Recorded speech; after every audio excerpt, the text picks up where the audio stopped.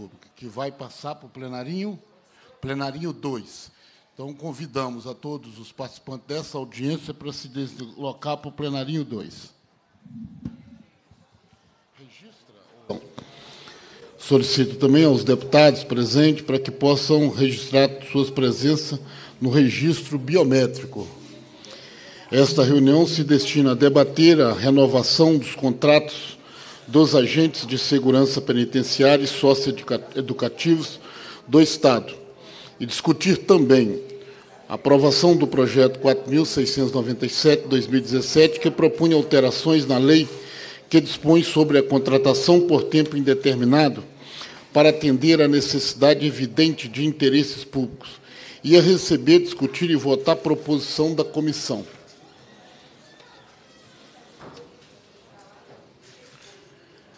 Passa-se a primeira fase da terceira parte da reunião, que compreende a audiência pública. Já tomaram assento à mesa o convidado Ronan Rodrigues, presidente da União Mineira dos Agentes Prisionais de Minas Gerais, e também Dr. Marco Antônio de Paula Assis, presidente do Sindicato dos Delegados de Polícia do Estado de Minas Gerais.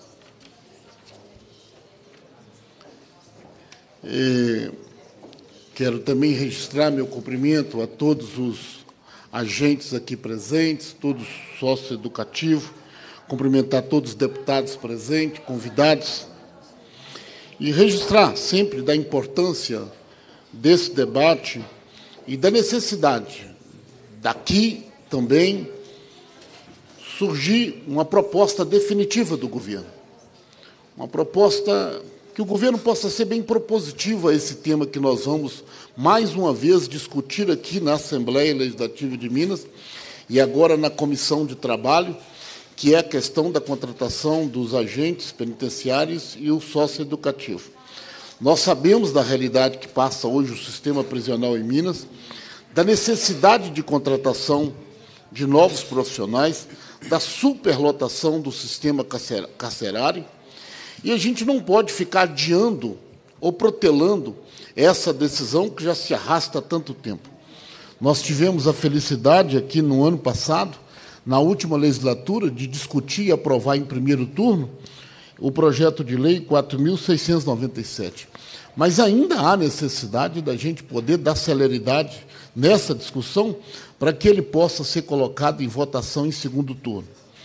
E que todas as questões hoje que serão colocadas pela os agentes aqui presentes, os representantes dos agentes, né, o representante do sindicato, né, possa ser ouvida pelo governo, porque o clamor, a necessidade, as dificuldades colocadas para esse sistema é muito grave. E nós estamos diante de uma situação que a qualquer momento pode estourar aí um grande crise no sistema prisional, dado a superlotação do sistema e pela falta dos agentes penitenciários. Então, é muito importante né, o desdobramento dessa reunião hoje aqui, dessa audiência. Já passo a palavra ao deputado Elismar Prado, autor do requerimento que deu origem a esta reunião, para tecer suas considerações iniciais. Bem, bom dia a todos, a todas. Quero saudar aqui os trabalhadores, os agentes presentes, agradecer. Estão aqui de forma legítima, reivindicando seus direitos. Aqui a nossa mesa também, presidente Celinho do Sintrocel, também presente para contribuir, entendedor do assunto, doutor Grilo. É, nossos convidados, Marco Antônio de Paula, presidente do Sindicato dos Delegados da Polícia do Estado de Minas Gerais, bem como Ronan Rodrigues, que é o presidente da União Mineira dos Agentes Prisionais de Minas Gerais. Enfim, é, apresentei o requerimento mediante solicitações aí da categoria, né, que vem aí sofrendo realmente uma verdadeira tortura por parte dos governos. Eu falo governos porque nós estamos aqui diante de uma questão importantíssima de interesse do Estado, do Estado, e não simplesmente de governo, né, doutor Grilo? Então, a gente sabe que é legítimo toda disputa política, partidária, ideológica, porém, nós temos um problema sério aqui, que a gente precisa ter segurança. Vocês precisam ter condições de trabalho, de renda, enfim. Né? E vem se arrastando nessa casa aqui inúmeras discussões. Acompanhei o ano passado, né, toda aquela expectativa para aprovar o projeto que permitia essa contratação. Né? Infelizmente, ficou só no primeiro turno. Isso é, é lamentável, porque o pessoal esperava que fosse concluir todo esse processo. A gente sabe que houve também todo esse, esse movimento aí, é, muitas tentativas de jogar os trabalhadores contra os próprios trabalhadores, né, os concursados, os contratados. E a gente sabe que o que está em jogo acima de tudo isso aqui é a questão da estabilidade no sistema prisional no Estado. Né? Existe um aumento crescente da população carcerária. Aqui, dados da Comissão de Assuntos Carcerários da, da OAB Brasil, né? É, falam em 76 mil internos em Minas Gerais. O próprio secretário ontem de Segurança Pública confirmou que são 75, mas, enfim, em torno de 75 mil. E isso crescendo a cada ano.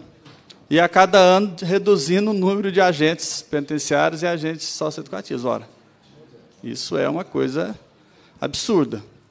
Estão dispensando trabalhadores, Celinho, doutor Grilo, muitos que já estão aí há 10, 15, 20 anos no trabalho, que já têm uma vasta experiência, né? E que não estão sendo respeitados. São pais de famílias, uma boa parte trabalhando em situações precárias, péssimas condições de trabalho, insalubridade, enfim, né, colocando em risco a própria integridade física. E não há, por parte do Estado, uma, uma sensibilidade no sentido de resolver essa questão. Só vai empurrando, né? E a gente fica aqui se deparando com essa, essa dificuldade. A gente não tem aqui, por exemplo, um membro do Estado com autoridade para poder realmente falar para vocês quais serão as medidas aí adotadas, né?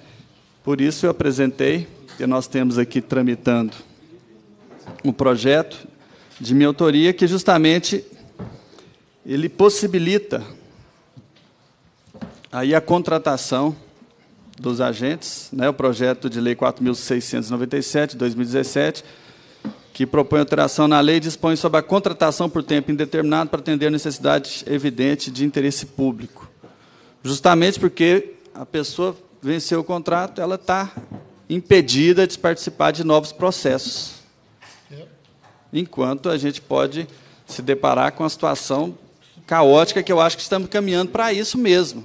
Né? E o Estado precisa de estabelecer uma política mais segura para evitar um verdadeiro caos. Vocês vão ter a palavra aqui, o delegado Ronan, o doutor Grilo, para poder nos atualizar e falar da sua experiência e como está o movimento hoje. Mas, enfim, né, nós temos aqui dados da Unimasp, o déficit atual já passa de 7 mil agentes e, esse ano, pelo menos, agentes devem ser demitidos com o encerramento dos contratos, pelo menos 800. Dos 18 mil homens na ativa do sistema penitenciário, cerca de 6 mil já foram demitidos. 6 mil já foram demitidos, com reposição de apenas metade do quadro dispensado. Então, sem falar que o número já não é o ideal. Né? O ideal, segundo dados aqui, seria pelo menos 22 mil agentes. É, eu já falei dos dados aqui da, da OAB, né, 75 mil a população carcerária. E a OAB também aqui, a Comissão de Assuntos Carcerários, aponta que nos 15 principais presídios de Minas Gerais há um déficit médio de 20, 129, 129% no número de funcionários responsáveis por cuidar dos detentos. Ou seja, falta mais que o dobro de agentes necessários nos 15 principais presídios. Nós temos aqui no sistema socioeducativo, é, a questão não é diferente. 700 dos 2.690 já saíram e apenas 533 foram nomeados. A previsão é que saia em torno de 1.100 até 2021, sendo que déficit atual é de 1.430. na contagem da secretaria, de, né? e 2.200 nos cálculos da categoria que segue o Sistema Nacional de Atendimento Socioeducativo, onde calcula-se 1,5 agente por adolescente infrator. Ah, sim. Alex, representante do socioeducativo, está aqui, muito obrigado. Né? Então, todo mês, a categoria perde mais agentes. Vou dar um exemplo aqui de Uberaba, onde a unidade já está interditada devido à falta de agentes, doutor Grilo, e a infraestrutura, infraestrutura inadequada. Em 2021 não terá nenhum agente contratado. Enquanto o número de agentes diminui, o número de presos e de adolescentes aumenta. Né? É, mais da metade dos presos mineiros estão atrás das grades à espera de um julgamento definitivo, o que equivale a 58% do total de 76 mil detentos. Esse número cresce, eu já falei. Né? É, na legislatura passada, eu já falei que nós tentamos aqui aprovação, que ficou no primeiro turno, né? Aí para poder solucionar definitivamente a questão dos agentes contratados que foram dispensados. Enfim, é, não vou me delongar com isso aqui, mas nós precisamos de uma solução, por isso que nós temos que aprovar urgentemente esse projeto, viu, doutor Grilo, 4.697, que permite que esses pais de famílias possam após um contrato, ingressar em outro. Né? A gente sabe que um concurso público minimamente leva um ano e meio, pode ser dois, três, quatro anos, para o Estado concluir devido à morosidade que a gente observa. E aí? Enquanto a população carcerária aumenta, o número de agentes diminui, não é permitido a recondução, né? Instrumento jurídico, algum meio para que eles possam ser contratados novamente, nem para aproveitar toda essa experiência. A gente não está falando de dar nenhum privilégio, mas de que seja respeitado, reconhecido essa experiência que eles têm, né, de dedicados ali ao trabalho no sistema. E esse projeto visa simplesmente, e ele atende todos os preceitos legais de necessidade do interesse público, né, de que eles possam é, serem né, liberados para fazer um novo processo, participar de novos processos. Então, simplesmente é esse o nosso projeto, né, que o pessoal vem aí divulgando e, e a gente espera que a gente tenha aí o apoio. Né. É, eu tenho aqui um dado, por exemplo, e aí eu já vou encerrar por enquanto. É, temos comunicados de que o governo pretende fechar, doutor Grilo, a Companhia de Polícia Militar do bairro Veneza, em Ribeirão das Neves, onde os índices de criminalidade são altos e a população e o vereador Webson, diretor, estão indignados. O governo quer acabar com os programas importantes, como Fica Vivo, com o Centro de Prevenção à Criminalidade, CPC, do bairro Jardim Canã, em Uberlândia, que tem, além do Fica Vivo, o programa Mediação de Conflitos a gente sabe que o Fica Vivo é um projeto que né, visa prevenir ocorrências, homicídios, enfim, exatamente nas áreas de maior vulnerabilidade social, promove ele oficinas com os jovens, enfim, é um programa de prevenção social. Né? A gente sabe que é fundamental trabalhar também na prevenção. Lamentavelmente, o governo quer encerrar esse programa. Nós temos outra audiência pública no espaço ali do lado, onde está discutindo aí também a intenção do governo de encerrar o contrato com mais de 600 vigilantes que cuidam das superintendências, das escolas, exatamente as unidades de ensino onde nós temos maior vulnerabilidade também. Não é à toa que eles estão trabalhando nesses locais. Né? A gente lamenta né, essa postura. Né? Os reitores também, deputado Celim, estivemos com os reitores das universidades. O governo pretende encerrar as bolsas de ensino, os investimentos em pesquisa, ensino e extensão da FAPEMIG. Né, os alunos que cuidam de uma série de, de, de, estão dedicados a uma série de pesquisas na área da saúde, por exemplo, combate à dengue, a gente sabe que está uma epidemia gravíssima, simplesmente encerrar os investimentos nas bolsas né, é, é, e nas pesquisas ligadas à FAPEMIG e às nossas universidades. Isso é lamentável, né? Eu acho que tem muita coisa para a gente discutir aqui e vai na mesma linha. A questão da segurança é fundamental. A gente não pode ter essa novela ser arrastada em ad eterno aqui. Né? O governo precisa dar uma solução. E aí sim, aproveitar todos, todos, mesmo que aproveite que ele chame, né? Aqui nós temos informações de, de da, da, audiência de ontem. O secretário Mário Lúcio informou que a convocação dos primeiros vai convocar 750 agentes penitenciários aprovados no processo de 2018, né? Já foi acertado isso aí com a Secretaria de Planejamento e Gestão CEPLAG, né? Está prometendo isso para esse ano. Porém, só lá na no, na penitenciária de segurança máxima Nelson Hungria, a demanda é de, é de 200 agentes. Você vai chamar 750. Só lá no Nelson Hungria a demanda é de 200. Né? Então, e nós teremos o encerramento de contrato aí de 800 agentes. Né? Então, o déficit é muito grande e isso aqui simplesmente não resolve o problema. Nem que ele chame todos os excedentes, nem que mantenha todos os contratados. Precisamos de ampliar, doutor Grilo, para poder dar segurança e estabilidade no sistema, que o pessoal vai falar aqui que está um verdadeiro caos. A situação dos sócios educativos é a mesma coisa. Né? Então, quero encerrar por enquanto só essas questões preliminares, viu, deputado Celinho, para que você possa passar aos convidados, dando oportunidade, afinal de contas, uma audiência pública para ouvir o nosso público. Obrigado. Agradeço ao deputado Elismar Prado, mas quero já também registrar né, a presença aqui na mesa do Alex Batista Gomes, presidente do Sindicato dos Servidores Públicos do Sistema Socioeducativo de Minas Gerais. Quero também registrar presença aqui nessa audiência, Ana Carolina Lima Santos, assessora da Superintendência de Recursos Humanos da CESP.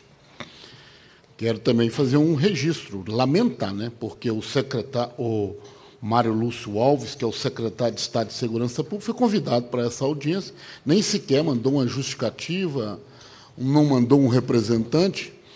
Isso já mostra o comprometimento, a atenção desse governo para com a segurança pública, para com o sistema prisional. Um assunto sério, um assunto grave, né? mas que se tratassem ele com a seriedade e com a necessidade de urgência de uma solução, teriam até ter mandado um representante, mesmo que tiveram na casa ontem.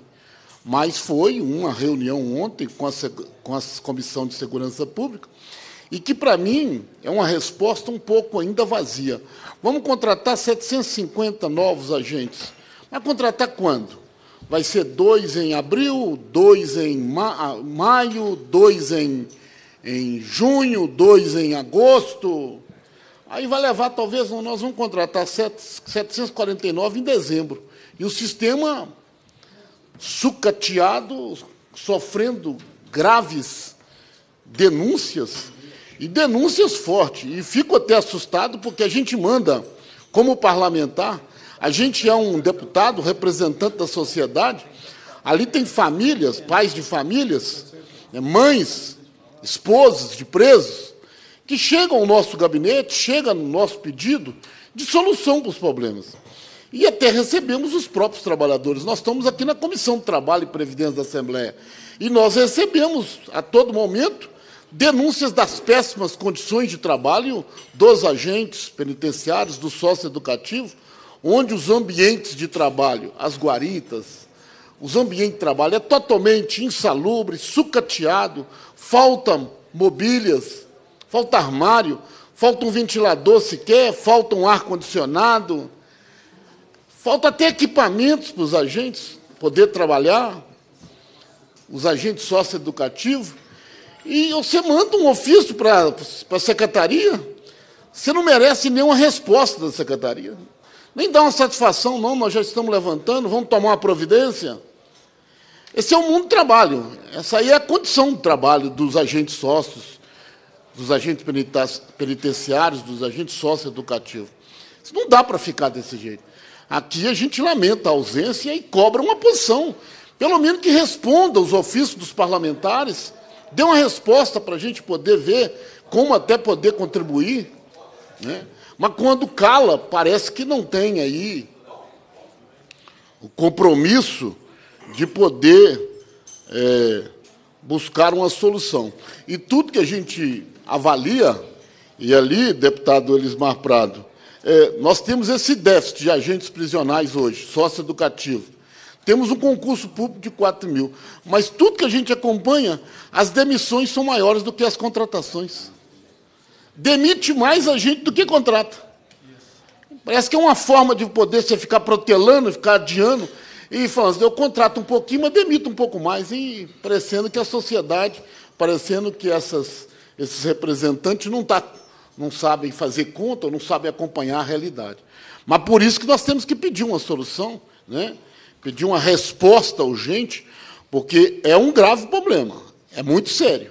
E no dia que aconteceu o inesperado nas penitenciárias de Minas, Aí talvez eles vão acordar e dizer, mas é a mesma coisa como nós estamos falando aqui, falamos em 2006, do acidente de Mariana.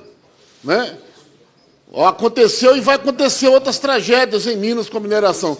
Nós estamos anunciando, vai acontecer tragédia nas, nas penitenciárias, nos presídios de Minas. E não se resolve nada. E depois que acontecer, vem aqui para justificar. Eu acho que a gente tem que realmente fazer um protesto e pedir do governo uma resposta à altura é, do assunto, porque é muito grave o que está acontecendo com o sistema de segurança com relação às condições e com a necessidade de contratação desses profissionais. Passa a palavra para suas considerações também iniciais, o deputado Eli Grilo. Bom dia a todos. É, primeiro, só fazer uma, uma, pequena correção, deputado Celinho. Na verdade, não é concurso público. O que eles fizeram foi um, um, um processo seletivo simplificado. São 4 mil. É, esse número preenche? Não. Mas o grande problema disso tudo, eu disse aqui ontem, não é isso. O grande problema é o governo contratar um servidor num processo seletivo simplificado. Ele trabalha dois anos, é, não tem ninguém de 15, 20 anos também, não. Acho que o máximo é oito, né, o contrato. Só pode ir até, até oito anos. Aí o contrato venceu. A pessoa vai para a rua enfrentar os bandidos na rua que ele sempre enfrentou na porta das celas. Tem, eu estava conversando com uma pessoa agora que foi do sistema, que saiu, que falou que ele tem medo de andar de, de, de ser motorista de Uber, ser reconhecido. Medo de motorista de ônibus, ser reconhecido. Olha, primeiro, eu vou deixar claro, eu acho que tem que ser concurso público, porque aí acaba com esse negócio. Acaba com esse negócio do, do sistema do agente penitenciário sair do sistema e desarmado para casa, alvo fácil. Todo mundo se torna alvo fácil. Tanto é que nós estamos cansados de ouvir e ver. Eu trabalhei como chefe da Quinta RISP, é, e nem todos, o sistema prisional está tá ruim também, não, viu? Alguns, alguns, algumas penitenciárias, que não são penitenciárias, são presídios na nossa região, estão bem estruturadas. Mas tem esse problema.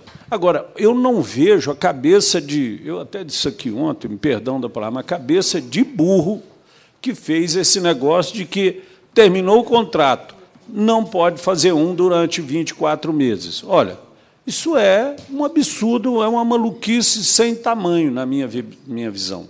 Primeiro, faça uma avaliação através da chefia para ver se vai ficar no sistema ou não, porque não são demissões. É vencimento de contrato, venceu, tá bom, acabou. Mas então faça uma avaliação, chama o diretor do sistema, chama quem dirige o sistema, fala: escuta, o Mané Pedro aqui pode continuar no sistema, ele presta um bom serviço, ele respeita a instituição, ele traz o benefício é, para o sistema carcerário não pode fazer isso que os governos sempre fizeram. E todos que vieram aí, eh, de, todos.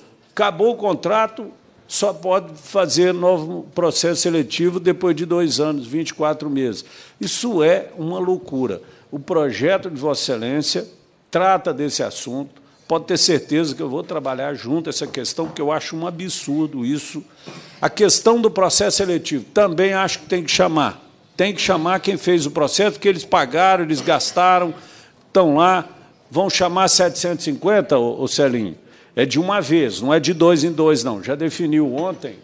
Vossa Excelência não estava aqui na, na reunião. Deputado.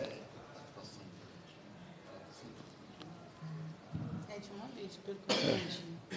Deputado Celinho.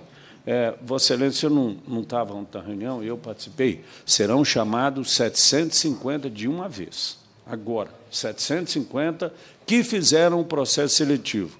Olha, isso complementa o quadro? De forma alguma. Nós teríamos que ter os 4 mil sendo convocados e manter ainda todos que estão aí de contratos vencidos. Agora, esse sistema de avaliação é que está errado. Sou favorável, vou dizer mais uma vez, ao concurso público para vocês terem estabilidade. Estou colocando um, um, uma PEC aí, o deputado assinou ontem, é que o sistema prisional passe a integrar o sistema de segurança pública, que hoje é só Polícia Civil e Polícia Militar. Mais uma razão para serem concursados e não contratados. Agora, tem que ter um prazo. Façam a tabela de transição. Ó, quem não passar no concurso, infelizmente, não vai ter como continuar. Aí vocês terão que se entregarem aos estudos. Né? Muita gente fala, ah, não estudei porque não deu tempo. Dá.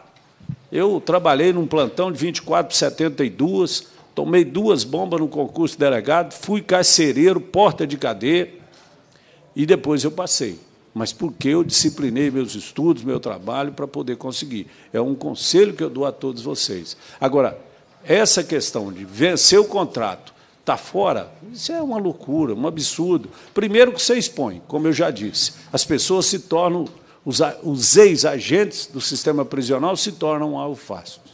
Tá? Isso nós não podemos permitir. Nós não podemos colocar nosso semelhante na boca do lobo dos bandidos porque são bandidos. O enfrentamento que vocês têm na porta da cela é muito mais difícil do que o enfrentamento que nós temos nas ruas, não é, doutor é, Marco Antônio? É, me Com permite certeza, eu, eu cumprimentá-lo agora, porque eu eu estava esperando a minha fala aqui. Eu costumo dizer que o sistema prisional, os agentes penitenciários são os gladiadores dos tempos modernos, que enfrenta o dia a dia muito mais perigoso do que a gente que enfrenta aqui na rua. Porque aqui na rua, bandido vem, você vai para cima, ele corre. Ele corre, ele te enfrenta, você pode derrubar ele também. Mas lá na porta da cela, você não tem essa oportunidade. Lá na porta da cela, você recebe fezes, urina, cusparada, tudo isso sem e ter que ficar inerte não pode reagir, porque aí vem o Conselho de Direitos Humanos que acha que tudo isso é louvável a favor do bandido. E se, porque se você fizer, está errado. Não, é, eu quero ser favorável, estou com você, acho isso aí pertinente, já tinha falado com, a, com o meu pessoal para a gente olhar essa questão, falei isso aqui ontem, quem esteve aqui ontem ouviu minha fala nessa questão, e eu quero falar uma coisinha também a respeito do sócio educativo. Em Uberaba tem um, a CZU, que está é, interditada. A reforma já foi autorizada. Parece que o dinheiro já está na conta. E nada de começar esse, essa reforma. Vai acabar interditando. E lá ninguém aceita mais colocar, nem o judiciário de Uberaba, o, o MP da vara de menores, nem o, o juiz da vara de menores, aceita encaminhamento. Mas Araxá não tem mais perdizes que tinha também não tem mais. Então, aonde que nós vamos colocar nossos menores infratores, que muitas vezes são tão bandidos quanto os maiores? São tão bandidos quanto os maiores. Eu tenho defendido não é diminuir a maioridade penal, não. O que eu defendo é o seguinte: seja ele de 15 anos para cima, cometeu um crime violento, hediondo, responde nos moldes do maior se ele matar o seu semelhante, assaltar, roubar, porque isso já virou bandido de alta periculosidade. E ele não tem mais esse negócio de ser mocinho, menininho, tem recuperação. Sabão na cabeça de burro velho não espuma. Pode ter certeza disso. Então, nós precisamos é, o enfrentamento do sócio educativo na porta da cela do menor, da custódia do menor, ele é tão perigoso quanto do sistema prisional. Não tem diferença nenhuma, não. É só a idade de quem está lá dentro. Então, é, eu recebi o pessoal do sócio educativo lá em Uberaba, e, aliás, o presidente do sindicato está aqui, né? Tá. tá. É o Alex. Alex. Eles me mandaram, até por escrito aqui, que o sindicato não os representa. Eu não sei por que motivo. Não, depois você não, pode. Eu só vou responder para o senhor, porque nós já. Parece nós, que vocês mesmo. Que... nós vamos mais, o ano passado nós fomos mais de 10 vezes na unidade. Pois é, e por que, que eles disseram isso? É porque, na verdade, é porque são uma turma que. Lá o caso é bem polêmico, eu não posso colocar tá, aqui, que então já está tendo a justiça. Depois você pode até É porque são oprimidos pela direção lá. É uma das coisas que tem que resolver. Eu não represento eles porque eles não são filiados. Se eles fossem filiados, eu estava representando todos tá. eles. Bom, é isso até me mandaram por escrito. Eu falei, mas como assim? Eu falei, ah, mas eu, eles pediram para me transmitir esse recado a Vossa Excelência. Bom, então, eu sou parceiro, estou junto com o deputado Elismar, com o deputado Celim nessa questão. É, nós temos que melhorar. O sistema prisional, eu disse ao governador, governador, Vossa Excelência aguenta. Isso lá na reunião com ele, Vossa Excelência aguenta uma greve da Polícia Civil. Aguenta uma greve mais ou menos da Polícia Militar, mas não aguenta, não aguenta uma greve do sistema prisional de forma nenhuma, nem do sistema socioeducativo, porque aí é o caos. É o caos. Você vai ter que tirar a PM e jogar lá. E eles não gostam de fazer isso mas vão ter que fazer. E quem é que vai cuidar da segurança na rua? Então, é, é, são essas as minhas palavras e, e dizer que eu estou junto com vocês, sou solidário. Tiver alguma proposição de, de votação, nós estamos juntos para encaminhar isso. Acho que está na hora da gente fazer um movimento maior, não de greve, nada disso, mas um movimento de envolver é, toda a, a, situação da Polícia Civil com o sistema carcerário e talvez, quem sabe, rever isso, viu, doutor, doutor Marco Antônio? É, é uma coisa que eu pretendo desenvolver nessa casa, vou estar discutindo com as bases, com todos do sistema socioeducativo e sistema prisional, para ver o que, que a gente pode é, arrumar nessa questão. Tá bom? Muito obrigado a todos. É, agradeço ao deputado Eli Grilo.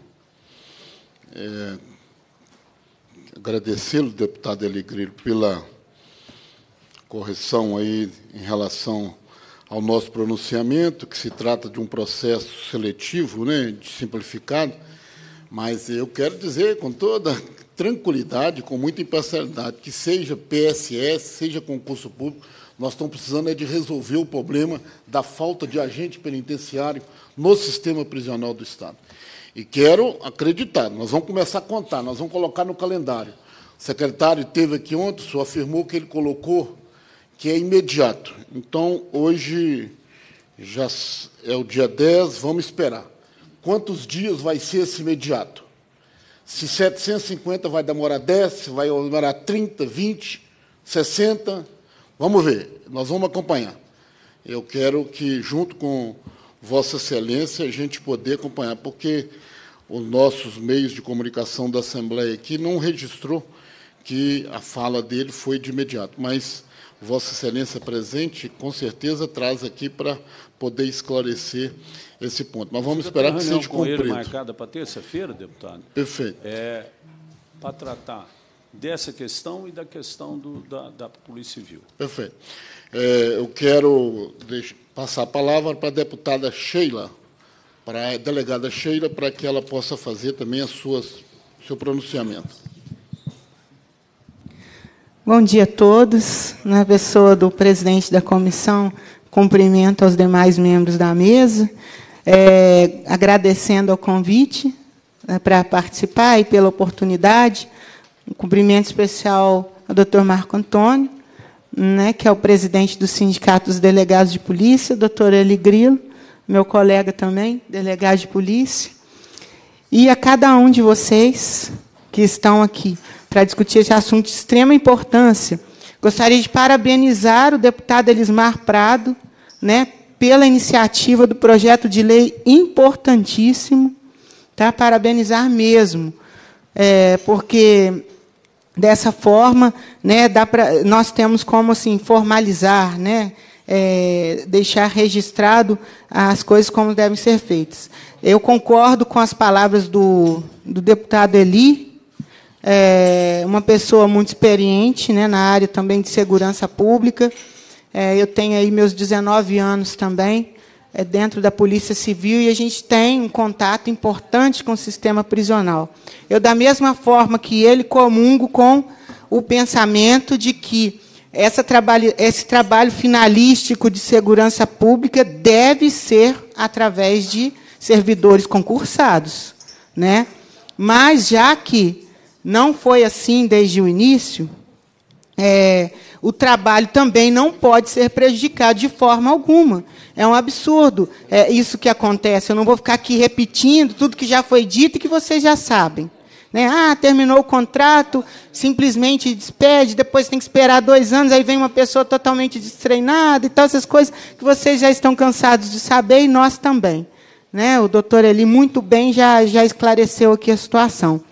Então, é, não pode existir essa lacuna. Não tem concurso, né? não tem é, pessoas para serem convocadas, o processo seletivo que foi realizado tem que ser é, né, de, de pronto estabelecido, como disse o secretário, vamos aguardar quanto tempo isso vai levar, né, até que a solução do concurso público seja é, efetivada. E, e cabe a vocês, né, que estão na situação de contratado, que já têm experiência, eu tenho certeza que gostam do trabalho que realizam, porque para trabalhar ali precisa gostar né? Precisa fazer com amor, porque não é fácil. Todo trabalho relacionado à área de segurança pública não é um trabalho fácil, é um trabalho de renúncia mesmo. É um trabalho perigoso, é um trabalho difícil. Vocês não têm porte de arma. Né? Isso é muito complicado. Então, se fazem, fazem porque gostam. Então, é só, estudem e se dediquem, porque o concurso público, penso eu, que é inevitável. Né? Na área de segurança pública tem que ser, até pelo respaldo o servidor efetivo, que ele vai que ele estará ali até o final né, da sua carreira, trabalhando, e depois ele tem um respaldo maior do Estado relacionado à questão da segurança dele. E né, é, dizer que o sistema. É, o concursado tem porte, o contratado não tem. Doutor Eli está tá lembrando desse fato. Né? Então, por isso a necessidade do concurso público também. Né? E o sistema prisional ele já esteve sob a responsabilidade da Polícia Civil é, por bastante tempo, né? acho que durante todo o tempo, e eu costumo dizer que foi uma grande perda para a Polícia Civil. É, foi um erro naquele momento. É, re, tudo que, que, que, as reclamações que existiam, ah, não, a Polícia Civil não tem efetivo suficiente para é, desempenhar as atividades do sistema prisional. Então, foi mais fácil retirar o sistema da Polícia Civil e abrir concurso e contratar outros servidores né, para o sistema prisional do que abrir concurso para uma carreira dentro da própria instituição. É, foi uma perda, um prejuízo muito grande, porque o sistema prisional é, eu, eu acredito que é a maior fonte de informação para a investigação. Toda a informação está ali dentro. Vocês são detentores da informação. E o Estado fomentou meio que uma, um, um, distanciamento da Polícia Civil, que é a Polícia de Investigação, a Polícia Judiciária, com o sistema prisional, e nós ficamos meio que sem acesso, salvo raras exceções e casos específicos de boa vontade de quem atua no sistema prisional com o nosso trabalho de troca de informações. Mas isso não foi fomentado pelo Estado e foi um prejuízo muito grande para todos nós e para a sociedade também. É o que o doutor ele disse a respeito né, da inclusão do sistema prisional no, no, no, na, nas questões da segurança pública, isso é de extrema importância. Todos nós fazemos parte de uma mesma engrenagem: Polícia Civil, Polícia Militar, o sistema prisional, o Corpo de Bombeiros, né, e, e até a Guarda Municipal o sócio educativo também. Nós fazemos parte todos de uma mesma engrenagem, e isso precisa estar é, aglutinado, junto, unido, dentro de um, de, uma mesma, de um mesmo gerenciamento, de uma mesma administração, com a mesma ótica e com paridade de, nos investimentos. Essa questão de paridade nos investimentos, custa, falta de paridade nos investimentos às instituições de segurança pública, custa muito caro à segurança pública dos cidadãos. Né? Nós presenciamos aí, entra ano, sai ano, um investimento muito maior, por exemplo, na Polícia Militar do que na Polícia Civil. Polícia Civil sempre preterida, sucateada, porque não dá visibilidade, dá, tem visibilidade, mas não tanto quanto a Polícia Militar. E isso não está correto. Né? Assim como vem acontecendo com, com o sistema prisional também. Vocês tomam conta de quem não é visto e nem lembrado. Então, vocês se tornam também sem lembrança e sem visibilidade. A verdade é essa. Sendo que isso é, isso é uma inversão de valores, né? É errado, então precisamos aí brigar, brigarmos por essa paridade de investimentos do Estado em toda a engrenagem da segurança pública. Mais em uns do que em outros, para que haja né, essa aproximação de igualdade. Isso é óbvio, num primeiro momento. Tá? Então, é, e pensarmos até, inclusive, é, por que não? Né, do retorno do sistema prisional aos quadros da Polícia Civil. Eu falo isso, tem uns que gostam, outros que não gostam. Para nós seria bom. Nosso, no, o, nós temos um número muito reduzido né, de servidores, seriam todos da mesma instituição, com funções diferentes, podendo ser adaptadas dentro da instituição, nós sabemos disso. Né? E teríamos aí um quadro de pessoal grande porque se você tem volume, você tem mais voz e você é mais ouvido. Seria uma opção, por que não? Um caso a ser pensado, estudado, avaliado. Né? Voltaria ali a administração do sistema prisional para as mãos de um delegado de polícia. Aconteceria uma, uma economia né, com tantos contratados que nós temos, quantos, tantos cargos comissionados que nós temos aí no sistema prisional. É uma ideia. Né? É uma ideia colocada, não, não sou né, a dona da verdade nem da razão, mas é uma ideia. Então, assim, é, pode contar com o meu apoio também, deputado, tá? nessa questão. Com certeza pode contar, e, e de quem eu puder também estar levando e convencendo, e também vocês podem contar com o meu apoio na demanda de vocês, que é a continuidade até a convocação de servidores efetivos. Tá? Doutora, só uma uma correçãozinha. Na verdade, eu eu entendo que nem essa questão de ser um delegado, chefe, é, diretor do sistema prisional. Eu acho que essa questão pode ser extraída de dentro da base do sistema prisional, daquele que é concursado, que tem uma situação boa, até porque o grande problema na nossa época foi que delegado nenhum queria mexer com preso né, doutor Marco Antônio? Então, mas essa é uma discussão que a gente vai ter que fazer de uma forma diferente, tanto na base do sistema prisional quanto na base da Polícia Civil, para a gente ver de que forma a gente poderia, é, ambas as situações, tanto o sistema prisional quanto a Polícia Civil, saírem ganhando com essa situação. Mas isso é ainda um estudo que não dá para definir, vamos, é, vamos aquecer essa situação, vamos, dar, vamos discutir isso para ver o que, que vai dar. Ok? É, são ideias, né? Conforme eu falei, são ideias, são coisas que a gente fica pensando para tentar amenizar o sofrimento das instituições, né? Com falta de pessoal, com falta de recursos. Então são ideias que a gente lança a serem amadurecidas, né?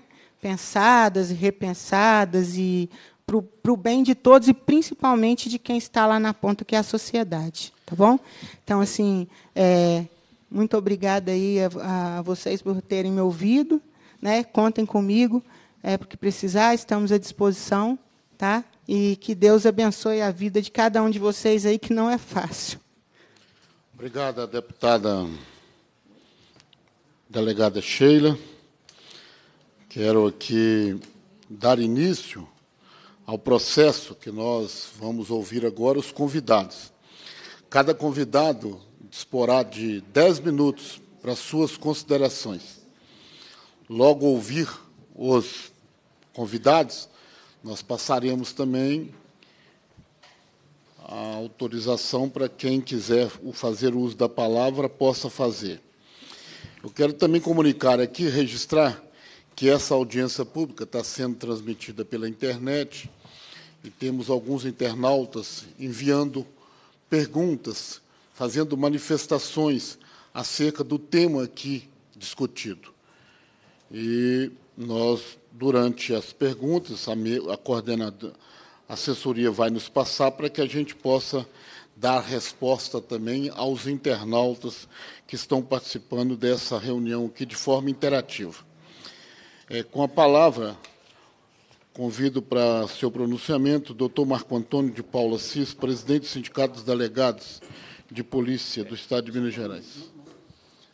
Bom dia, presidente, meu amigo Celinho de Sintrocel, é, deputado Elismar, a família a família Prado sempre apoiando a segurança pública, muito obrigado. Meus amigos, deputados, doutor Eli, doutora Sheila, ambos delegados de polícia, ambos do PSL, o que traz para nós uma reflexão interessante, né, que o número de deputados eleitos pelo PSL e o próprio presidente da República é, são uma denúncia de que a nossa sociedade clama por segurança pública. E se ela clama por segurança pública, é obrigação dos governos proverem, pelo menos, a nossa base. Nós temos hoje no Brasil, para que só para contextualizar o debate, uma, o quantitativo de policiais civis e militares hoje se equivale ao quantitativo de pessoas empregadas na segurança privada. É para que vocês tenham uma ideia de como é importante a segurança, ou seja, quem tem condições de pagar por segurança, paga pela segurança privada, na mesma proporção em que o Estado brasileiro está provendo segurança pública para toda a população brasileira. Não ouvidem os senhores da importância do seu trabalho, da magnitude do que vocês fazem, e é lamentável a gente ver que na Lei 7.210, que é a Lei de Execuções Penais, não se inclui polícia civil e nem polícia militar. Os responsáveis pela execução penal, além dos senhores, são os senhores juízes de direito, são os senhores promotores de justiça, que estão todos ausentes desse debate e de qualquer outro que se faça quando se trata da situação prisional no país. Mas na hora de ser processado por uma série de coisas, uma série de desmandos que é do Estado, são os senhores, são os policiais civis, doutor Eli, doutora Sheila. A grande razão de nós largarmos, de nós rezarmos e acender vela para tudo enquanto é santo, para ficar livre da guarda de presos, é porque, apesar de nós termos, aquele tempo, 70% da população carcerária sob as nossas expensas, sob nossos cuidados, sob nossa custódia, nós não tínhamos acesso aos recursos do fundo penitenciário, que eram destinados apenas às penitenciárias. Jamais o conselho penitenciário, o conselho da comunidade, o patronato, qualquer juiz ou qualquer promotor veio defender as prerrogativas do policial civil que trabalhava desde a apuração das infrações penais até a guarda do preso, que era todo um processo, todo o ciclo da justiça criminal nesse país e que ficava somente sob responsabilidade da Polícia Civil. Por isso a Polícia Civil quis se livrar desse fardo. Foi um erro. Foi um erro grave, porque os senhores hoje, sem poder de polícia, ficam reféns daquele daquele antro. Hoje nós estamos colocando os bandidos em quarentena dentro de lugares inacessíveis porque a polícia não tem acesso e os senhores não têm poder de polícia. Os senhores não podem sequer carregar uma arma de fogo para defender a si próprios e a sua casa daqueles que estão o dia inteiro filmando vocês, sabendo quem vocês são e que vão procurá-los na rua quando saírem e saem muito facilmente, porque hoje a nossa justiça criminal, infelizmente, produz criminosos cada vez mais audaciosos pelo fato de ela não punir ninguém. Ela simplesmente coloca a pessoa num ambiente em que ela vai fazer ali um curso de reciclagem. Os bandidos hoje estão trocando informações e a cadeia é o melhor ambiente para a troca de informações, para a formação de quadrilha cada vez mais organizada, cada vez mais ousada. E se alguém precisar de um exemplo disso, eu falo o PCC. O PCC não nasceu na Candelária, não nasceu na Praça 7, não nasceu na Praça dos Três Poderes em Brasília. O PCC nasceu dentro dos presídios de São Paulo. Por quê? Porque o poder de polícia de quem está fazendo a execução penal, fazendo execução penal sozinho, às próprias custas, porque a Justiça e o Ministério Público, que é o fiscal da lei, estão de olhos vendados para isso. E é muito simples entender por que isso. Porque o conhecimento traz responsabilidade. O dia em que um juiz entrar numa cadeia e não tomar uma providência qualquer para que seja respeitada a Lei 7.210, ele está prevaricando. Então, para não prevaricar, ele lava as mãos, ele vira as costas.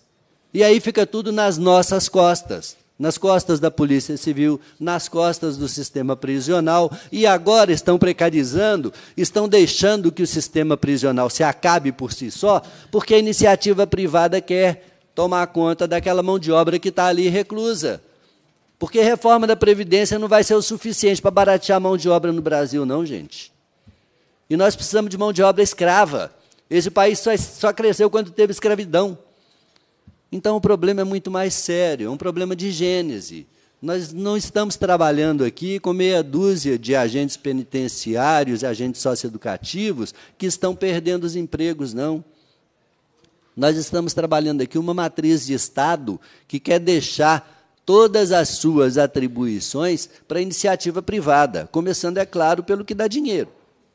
Né? E, por fim, naquilo que aparentemente não dava dinheiro, mas vai acabar dando dinheiro, que são as penitenciárias. A partir do momento em que as leis forem relativizadas, já começaram a relativizar as leis do trabalho no ano passado, e a partir do momento em que essas leis trabalhistas forem sendo cada vez mais relativizadas, vai ser muito fácil se apropriar da mão de obra de quem estiver dentro de uma penitenciária. Esse é o caminho das coisas. Ninguém ouvide disso. Tá? É tudo por dinheiro. Não existe nada por amor a nenhuma causa. É tudo por dinheiro. Então, é importante que os senhores saibam, que os senhores se mobilizem, que os senhores se organizem. Parem de andar de meia dúzia. Andem aos centos, andem aos milhares, porque é assim que a gente torna um pleito político. E enquanto não politizar esse pleito, não vai ter para ninguém. Não adianta nós querermos aqui fundir polícia civil com sistema prisional para fortalecer vocês, se formos só nós aqui nessa mesa. Se for só os dois delegados ali que conhecem esse problema a fundo como eu conheço, porque nós vamos ser achincalhados publicamente, vão rir de nós. E nós precisamos tomar uma postura, porque a segurança privada está aumentando, ela está crescendo e ela tem caciques ela tem pessoas que a sustentam. E nós precisamos entender que segurança pública é para pessoa pobre, não é para rico, não. Mas a nossa segurança pública, infelizmente, está sendo desviada para cuidar de caixa bancário que está sendo explodido por aí. Por que, que banco não provém a própria segurança? Não é importante para eles? Promover a maior a maior demissão de pessoas no mundo. E o sindicato mais forte que existia na década de 80 era o sindicato dos bancários. O segundo era o sindicato dos comerciários. Hoje não existem mais essas categorias, por quê? Porque esse povo são os donos do dinheiro. Sindicato dos transportadores hoje está à bancarrota. Por quê? Porque os transportadores são os donos do dinheiro. Então, Vamos aprender, vamos aprender a reivindicar, vamos aprender a correr atrás do que é nosso. Nós temos que prover segurança para nós mesmos. É para nós. Porque o bandido que está dentro das cadeias saiu do nosso meio, do meio das pessoas simples. Ele não saiu da Zona Sul, não. Ele não saiu da, da, das universidades, não. A universidade deles é dentro do sistema prisional. É lá que os senhores estão criando PHD em criminalidade. Portanto, a nossa luta é muito maior. Não se trata só de meia dúzia de pessoas desempregadas, não. Vamos aprender a elevar a nossa luta ao patamar de importância que ela merece. Esse país é a quarta população mundial do mundo. Tem que se respeitar quem cuida de preso nesse país. Muito obrigado. Obrigado, doutor Marco Antônio. É, e aqui, doutor Marco Antônio, é, reforça, diante da posição que o senhor está colocando aqui, reforça da necessidade desse debate com a preocupação de contratação de mais agentes e sócio-educativo em Minas.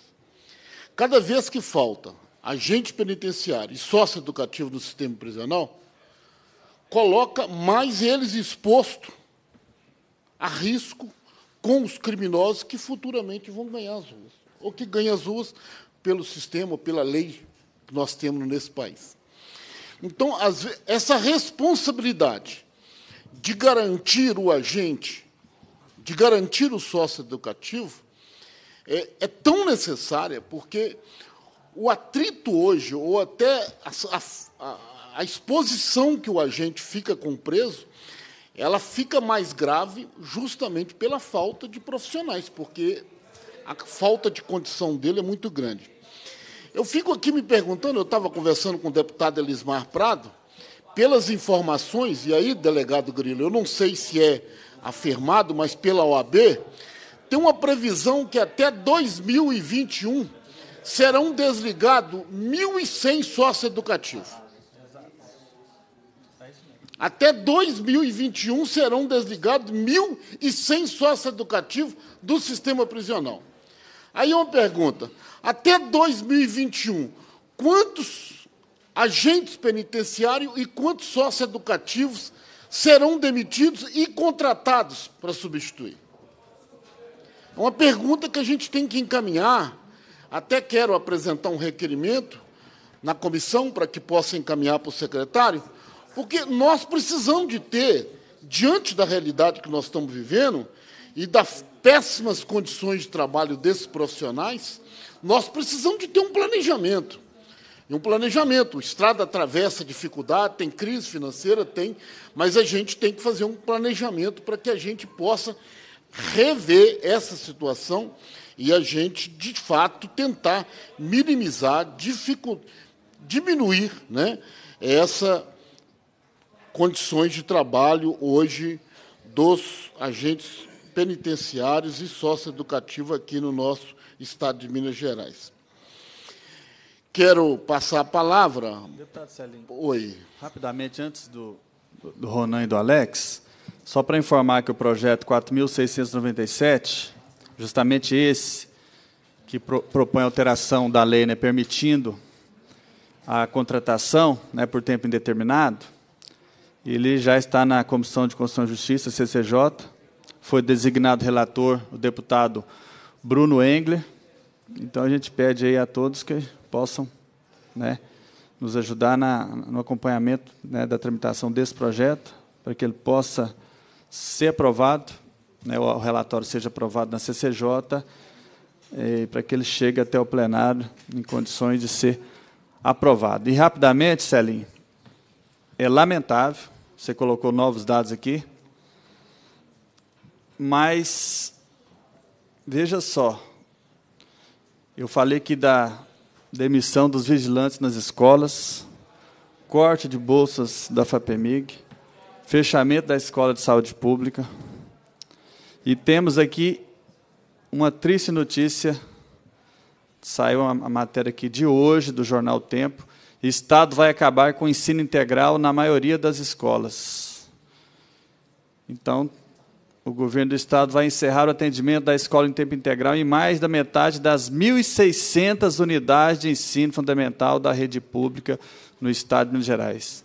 A medida vai impactar o universo de cerca de 111 mil alunos e 9 mil professores designados, responsáveis pela extensão curricular.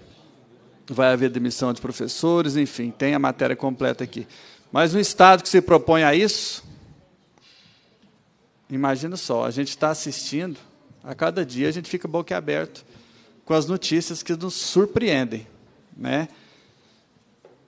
Esse é um verdadeiro desmonte do Estado, um verdadeiro desmonte.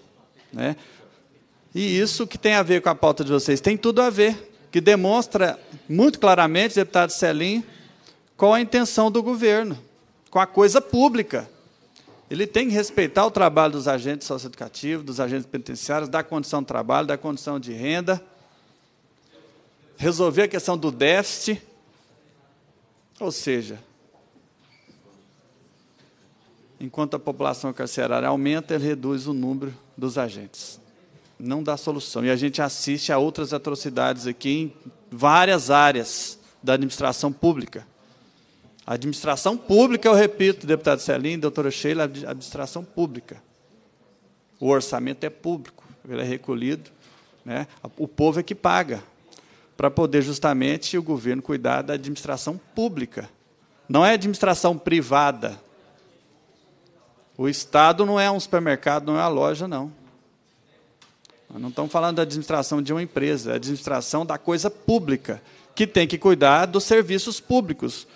Mas os serviços públicos que são financiados com dinheiro do povo, com orçamento público, estão sendo simplesmente extintos. Extintos. Queria deixar aqui só para uma reflexão, com mais essa triste notícia que nós vamos dar a repercussão do jornal Tempo de hoje, dizendo que o Estado vai acabar com o ensino integral em 1.600 unidades de ensino fundamental de Minas Gerais. Né? Isso é lamentável, é gravíssimo, então eu queria deixar claro aqui que tem tudo a ver com a nossa discussão, que mostra para onde a gente está caminhando e a gente precisa resistir. É isso, presidente. Eu, eu, posso fazer uma rapidamente? Sim, delegado. É, é, isso que o deputado Elismar falou é uma tragédia. Né? A verdade é essa, uma tragédia, é um retrocesso, é andar para trás. Quando, na verdade, nós precisávamos de muito mais escolas integrais e creches. Todos sabem disso. É só colocar, eu sou presidente da comissão é, de prevenção ao uso de crack e outras drogas. Estávamos reunidos agora há pouco. Ontem eu estive a Brasília também para buscar apoio em relação ao protesto de mais uma atrocidade que se encontra na reforma administrativa e que nós não temos condições de votar isso dessa forma. Entendeu? Aí o governo é, utiliza.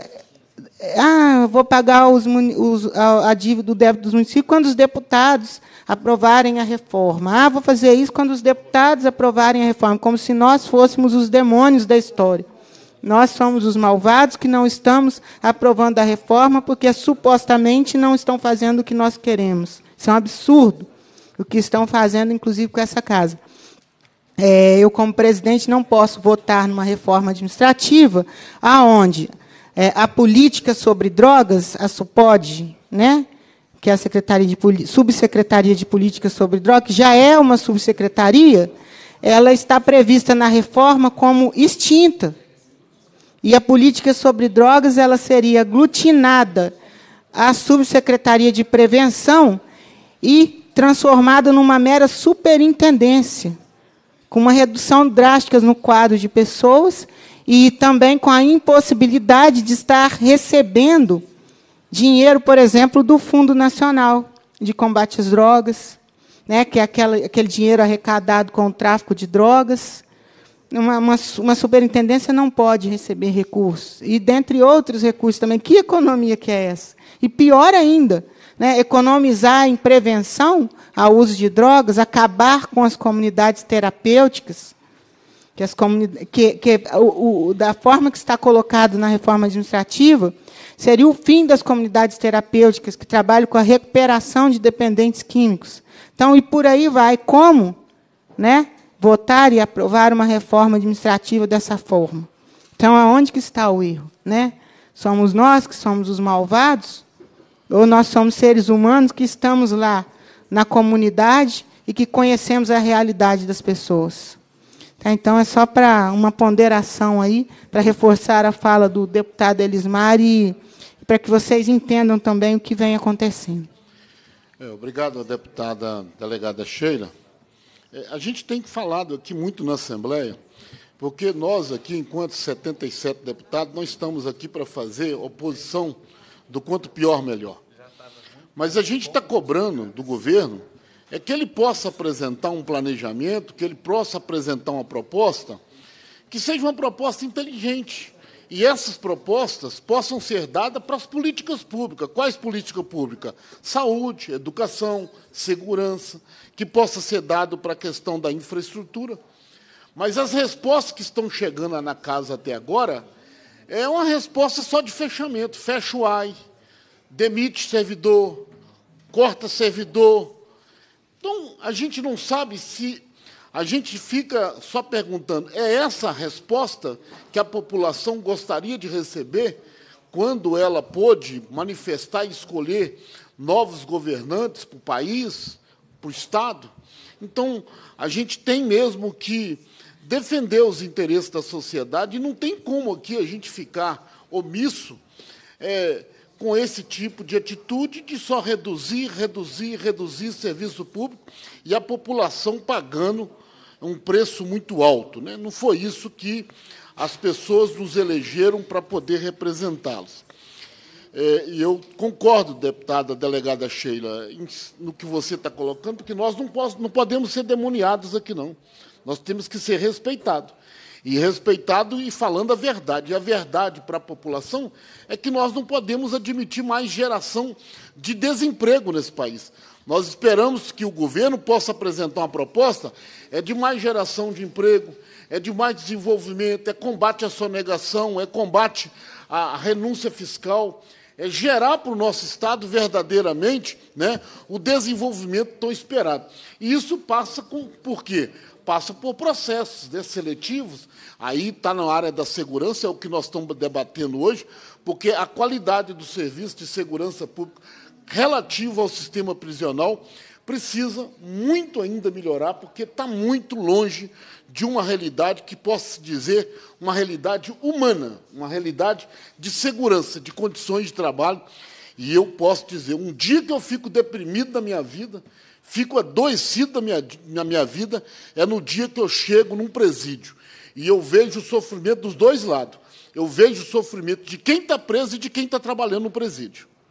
Essa é a realidade. A gente fica assim muito deprimido, porque é um ambiente, um ambiente muito, mas muito assim desagradável de você poder fazer uma visita, de você poder levantar. E cada momento que você passa, você só tem dificuldade.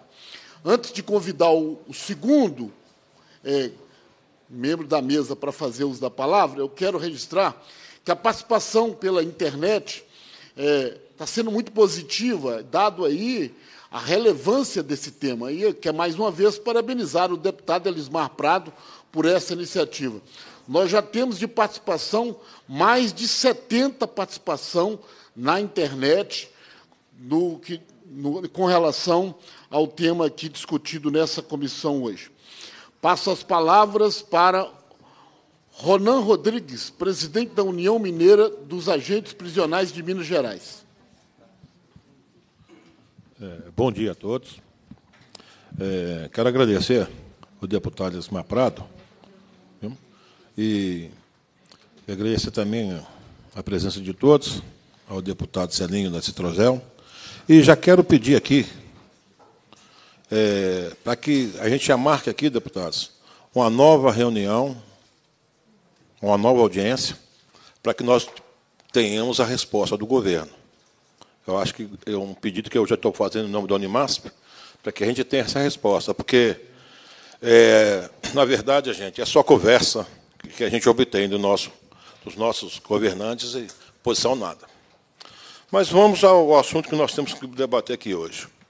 Primeiramente, eu quero pedir aos deputados que a gente esperava um público bom, porque se trata de um processo seletivo ao qual vocês estão buscando emprego, a solução seria nessa comissão, eu acho que o, o número que está aqui presente, quero parabenizar todos que estão aqui presentes, né, pela presença, e falar que os outros, que em vez de ficar na área de conforto no zap, fiquem, vem para cá, que aqui é a solução. O deputado acabou de falar aqui agora, e o doutor Marco Antônio, não, não vai mobilizar com 10 pessoas, não, mas com duas, três mil pessoas nós vamos sensibilizar. Então, vocês do processo seletivo é a única garantia que tem. Eu quero deixar bem claro, antes de eu entrar nas outras questões, do processo seletivo.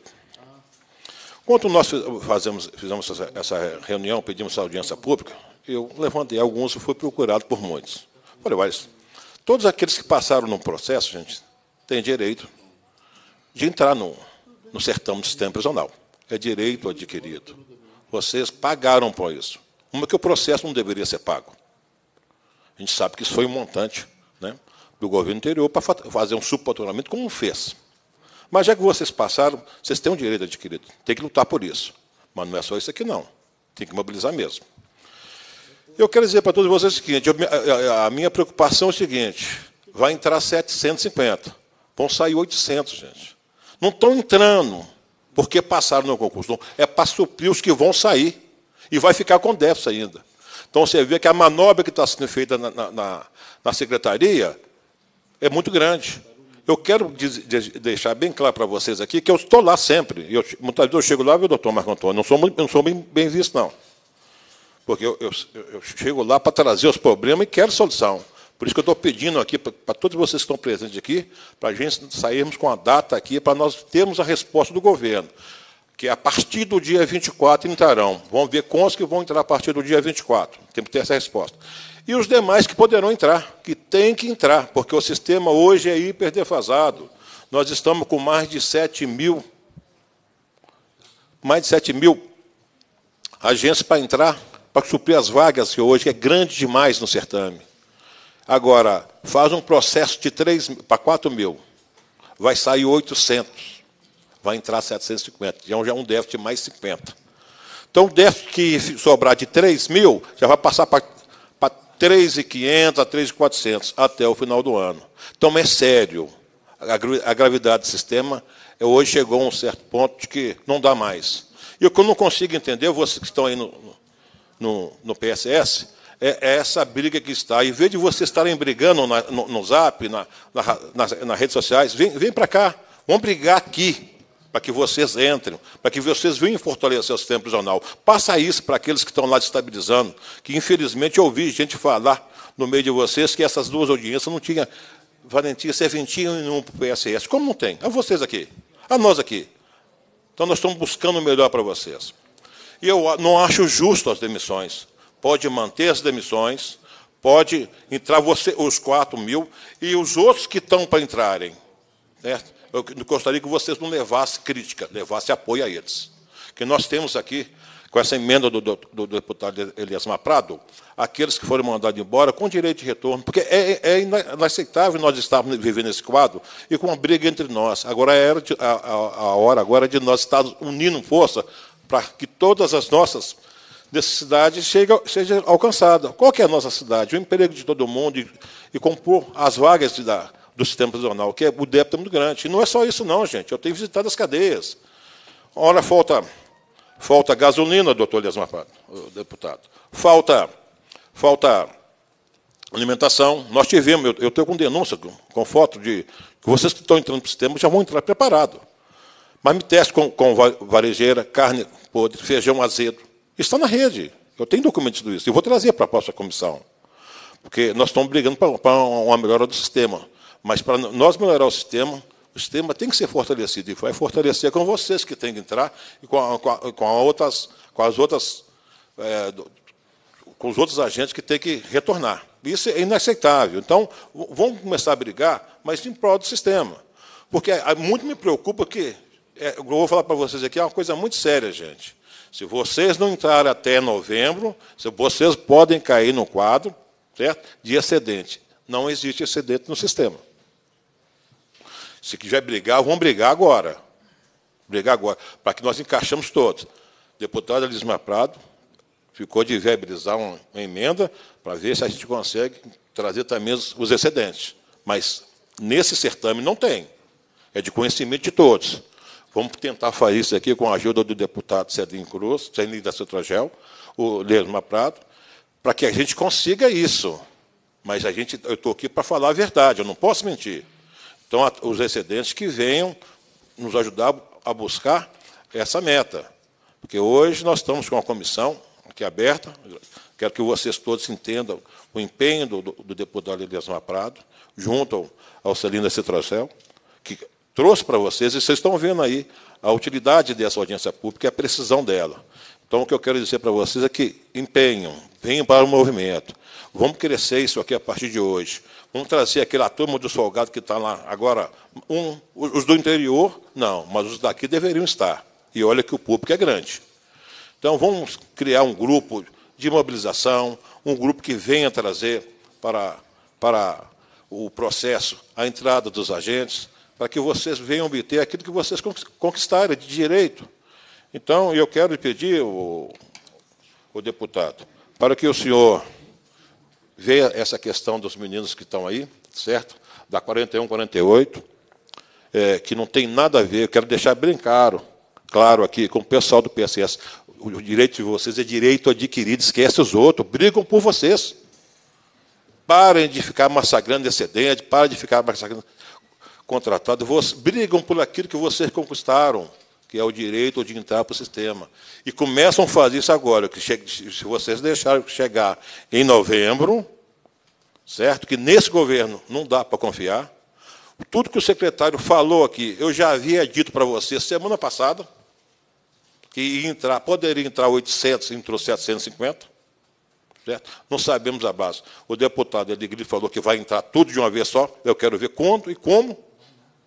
Quando e como. Eu não acredito, porque vieram aqui sempre falam mentira. Não acredito. Mas como é que nós vamos reverter isso aí? Na união, na briga, no, na movimentação. Aí nós podemos reverter. Nós temos a, a, as equipes, nós temos a imprensa, nós temos jornal, nós temos os deputados favoráveis. Certo? Então, agora o que nós temos que fazer é mobilizar. Por isso que eu estou pedindo, já junto aqui o deputado Seninho da Citrozel, mais o deputado Lima Prato, contando com a presença do doutor Marco Antônio, do doutor Alegria, da doutora Chile, para que nós saímos daqui já com a data marcada, para nós obtermos essa resposta. Que dia 24 está aí. Eu acho que, pelo, pelo meu pouco conhecimento que eu tenho, acho que não dá tempo hábil de fazer isso para dia 24, não. Então, aí eu liguei para lá, eles me ligaram ontem, falaram comigo, doutor, o deputado Celim, que é a partir do dia 24. Então, não é dia 24, é a partir. Então, pode ser dia 25, dia 30, passar para outro mês. Isso não vem ao caso. O que nós temos que fazer é que os 750 não, não interessa, não vai resolver o problema. Tem que entrar os 4 mil. Vocês têm que bater nessa, nessa tecla. E se dane por, por secretário, que ele vem aqui, que ele arrama um jeito. Tem jeito para tudo.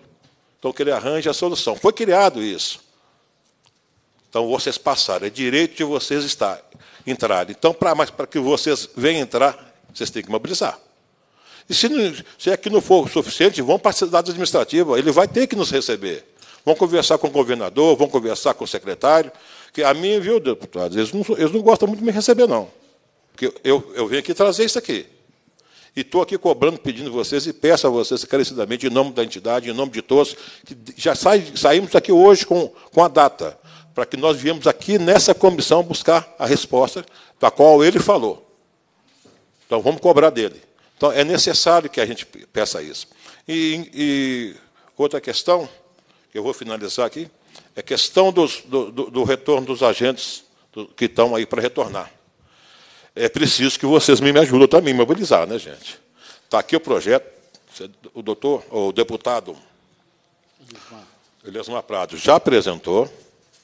Bom, não adianta o Eliasmar Prado, Celino da Cetagel, abrir esse espaço. Doutor Marco Antônio, tive o prazer de convidar, se propôs, os outros deputados, doutora Shirley, doutor, doutor Eli Grilo, se mobilizarem e vocês ficarem em casa. Aí é inaceitável.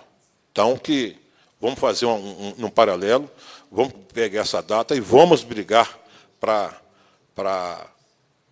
essa data seja, talvez depois do dia 24 ou dia 25, isso não vou depender do deputado Celino da Citrogel, e do, do deputado Elismar Prato, para que a gente tenha essa data já a partir de hoje, vamos mobilizar e vamos encher isso aqui e mostrar o valor e o peso que vocês vão fazer para o Estado. Então, continuo mobilizando, continuo, eh, vocês estão de parabéns. A turma do, da 41, 48, do retorno, que venham também, que há espaço para todos. E vão deixar a briga, vão cada um buscar tendo seu interesse. E vocês do PSS só tem uma coisa a fazer: busquem aquilo que vocês conquistaram, que é o emprego. Certo? E a outra turma vai buscar o retorno, que a nossa a, hoje nós, ultrapassa mais de 7 mil as demissões. Então, vamos unir, vamos juntar e buscar isso para todo mundo. Falou, gente? Então, continue mobilizando. Obrigado, viu, deputados? Obrigado, Ronan. Obrigado, Ronan. É, é fundamental mesmo a mobilização de vocês. Né? Essa mobilização é fruto da resposta de já de 750. Mas eu tenho certeza que o propósito de vocês é garantir e alcançar os 4 mil, né? que é uma meta, e que não está fazendo meta para arrumar emprego para ninguém, não. Está fazendo uma meta para resolver o problema do sistema carcerário do, do nosso Estado. Isso que é muito importante deixar frisado.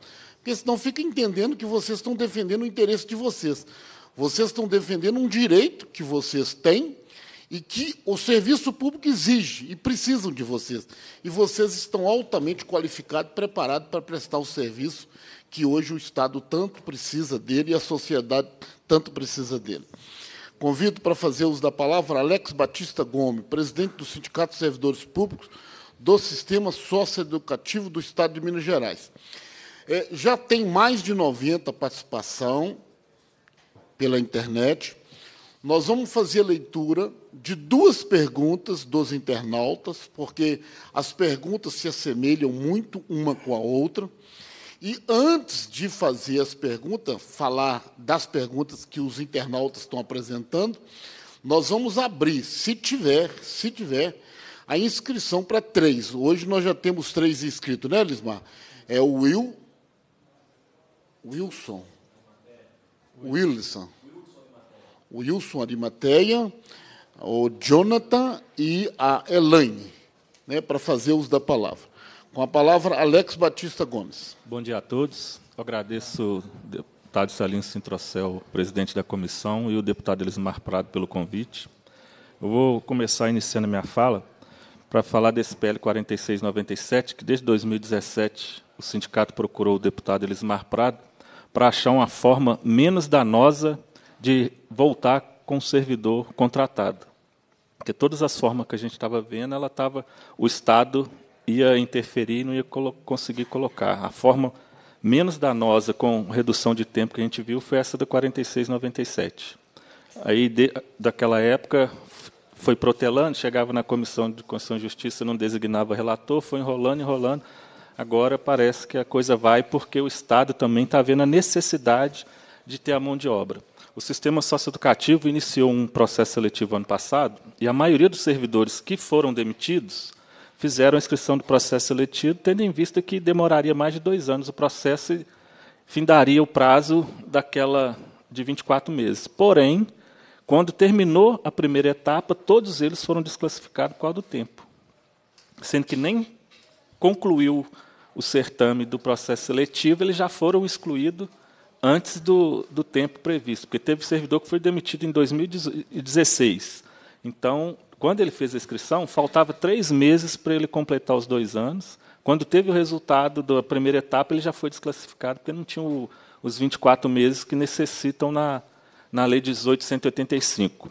E esse projeto, ele sendo aprovado, a gente vai ter que arrumar uma forma, ou o próprio presidente da comissão encaminhar um ofício para o Estado para rever isso, porque o processo não terminou e o servidor, que era prestador de serviço, participou do processo, tinha todas as credenciais para entrar, conseguiu pontuação alta, mas na hora lá do pré-requisito de dois anos, eles simplesmente cortaram, sendo que nem terminou as etapas, está na segunda etapa do processo ainda. Tem muitos lá que já completaram dois anos e o processo continua e eles já foram eliminados da primeira etapa. Aí a gente vai precisar de um requerimento para que seja feito uma correção nisso, para chamar todo mundo que foi aprovado, até que se os que vão completar dois anos, eles têm que ter uma previsão de quando vai chamar. Se até a data inicial lá, vamos supor que vai chamar em dezembro. Todo mundo que completa dois anos até dezembro tem que estar dentro do certame, porque ele vai estar fora do Estado. O fato dele estar participando de um processo seletivo não quer dizer que ele está contratado. Então, eu ia pedir o deputado Salinas Citrocel para fazer um requerimento quanto a isso, porque os que passaram, eles tinham tempo, não tinham tempo de dois anos, porém eles foram expurgados do concurso pelo fato de não ter dois anos, mas só que no decorrer do processo, já passou os dois anos e eles estão de fora. A gente precisaria de uma intervenção da comissão de trabalho nesse caso. E voltando a falar do, dos déficits do sistema, em 2017, em abril, a gente teve 2.700 agentes socioeducativos. Hoje a gente tem 2.026. Já perdemos mais de 600 servidores. E a previsão que nós passamos é que até 2021 saiam todos, vão ficar no, no, em média de 1.026 servidores efetivos só, se continuar da forma que está, se não mudar. Porque tem um ADIM que ela foi feito, é, julgou é, inconstitucional a lei do contrato e deu um prazo para o governo até do, fevereiro de 2021. Então, do, pela ADIM, 2020, fevereiro de 2021, não vai ficar nenhum contratado. Tanto é que todos que estão sendo renovados são renovados só até fevereiro de 2021, mesmo que ele teria prazo posterior. Se o, quem entrou ano passado, por exemplo, só está sendo renovado, é só, o prazo final do, do contrato é fevereiro de 2021, que é a data que a ADIM fez para que o Estado fizesse o concurso, que é o prazo de três anos que eles deram, que começou a contar em dezembro, porém já está se passando o tempo e não foi feito. E essa ADIM ela vale tanto para o sócio educativo, quanto para o prisional, quanto servidores administrativos da Polícia Civil, vale para todos. Porém, o governo não está se movendo para nada para cumprir uma determinação judicial que já foi julgada em segunda instância e pelo STJ, e ele não cumpre. E ele fala que é por causa da lei de responsabilidade fiscal. Mas na lei de responsabilidade fiscal prevê que para segurança pública e saúde pode haver concurso público. E até o momento o governo não faz nada. Eu queria fazer um requerimento também, ver se, se poderia ser aprovado, da, da Comissão de Trabalho, fazer diligência nas unidades socioeducativas do Estado para ver a precariedade que se encontra e o número de servidores, porque toda vez que vai um membro da secretaria nas unidades, eles avisam que vão, eles fazem convocação e lotam a unidade de servidor para dar uma maquiada, para falar que está que tá tudo ok. Na verdade, não está. E a maioria das unidades aqui de Belo Horizonte são todas adaptadas. Mal, mal tem um vestiário para o agente se trocar. E são coisas que a gente precisa da comissão de trabalho para ir fiscalizar, para cobrar do governo, porque o sindicato já cansou de cobrar e o governo só enrola. Só enrola. Tem mais de 30 ofícios nossos na Secretaria de Segurança Pública, nós tivemos resposta de três. Tem 27 ofícios lá parados, sem resposta nenhuma. E tem assédio moral, tem muita coisa, e a gente precisa da comissão de trabalho para fazer essas visitas nas unidades, de preferência inicialmente na região metropolitana, que é mais fácil, e depois nas unidades do interior. A gente tem uma unidade socioeducativa no Estado, uma não, duas, Uberlândia e Unai, que estão dentro dos padrões exigidos. Que o servidor tem um vestiário decente, a unidade é bem limpa, que tem um ambiente bem que dá para o servidor trabalhar. As outras 34 unidades já são tão caos total. Aí eu gostaria da, da ajuda da comissão de trabalho para esse tipo de fiscalização. É o que eu tinha. Obrigado. Obrigado, Alex. É, nós vamos solicitar assessoria para poder preparar os requerimentos, possivelmente que eles possam ser objeto de aprovação na próxima reunião, porque até no presente momento nós não temos aqui é, quórum necessário. Mas, para a gente poder alinhar os requerimentos de uma forma bem planejada, é, colocamos à disposição no nosso gabinete para que a gente possa elencar as principais unidades que precisam ter essa urgente visita da comissão para poder apurar as irregularidades das condições dos ambientes de trabalho e, ao mesmo tempo, também para a gente também tentar mapear por região, porque se formos visitar todas as unidades, a gente não vamos ter condição de fazer isso, mas a gente prioriza as principais porque passando por uma, um, um planejamento, ela vai servir de parâmetro para que as medidas que tomem um possam ser tomadas em outras também. Né? Mas a gente nos coloca à disposição e nós vamos sim deixar, providenciar. Tá? Gostaria que você procurasse no gabinete para a gente apresentar os requerimentos e destacando quais seriam as unidades. Nós vamos começar a ouvir os membros convidados que estão aí no plenário Primeiro, para fazer uso, Wilson Arimateia, representante da comissão do PP, PSS, processo seletivo, né? Pode fazer uso da palavra, uso. Três minutos para cada participante. É, bom dia. É, eu agradeço aí o presidente, os deputados e os convidados pela oportunidade de estar falando. A gente vem aqui representar 4 mil aprovados no PSS, que dentro desses 4 mil, vários são de outros estados, tiveram um gasto enorme para fazer um curso de formação, vários perderam os empregos por causa desse curso de formação, e não tem uma posição do governo sobre a situação real de contratação.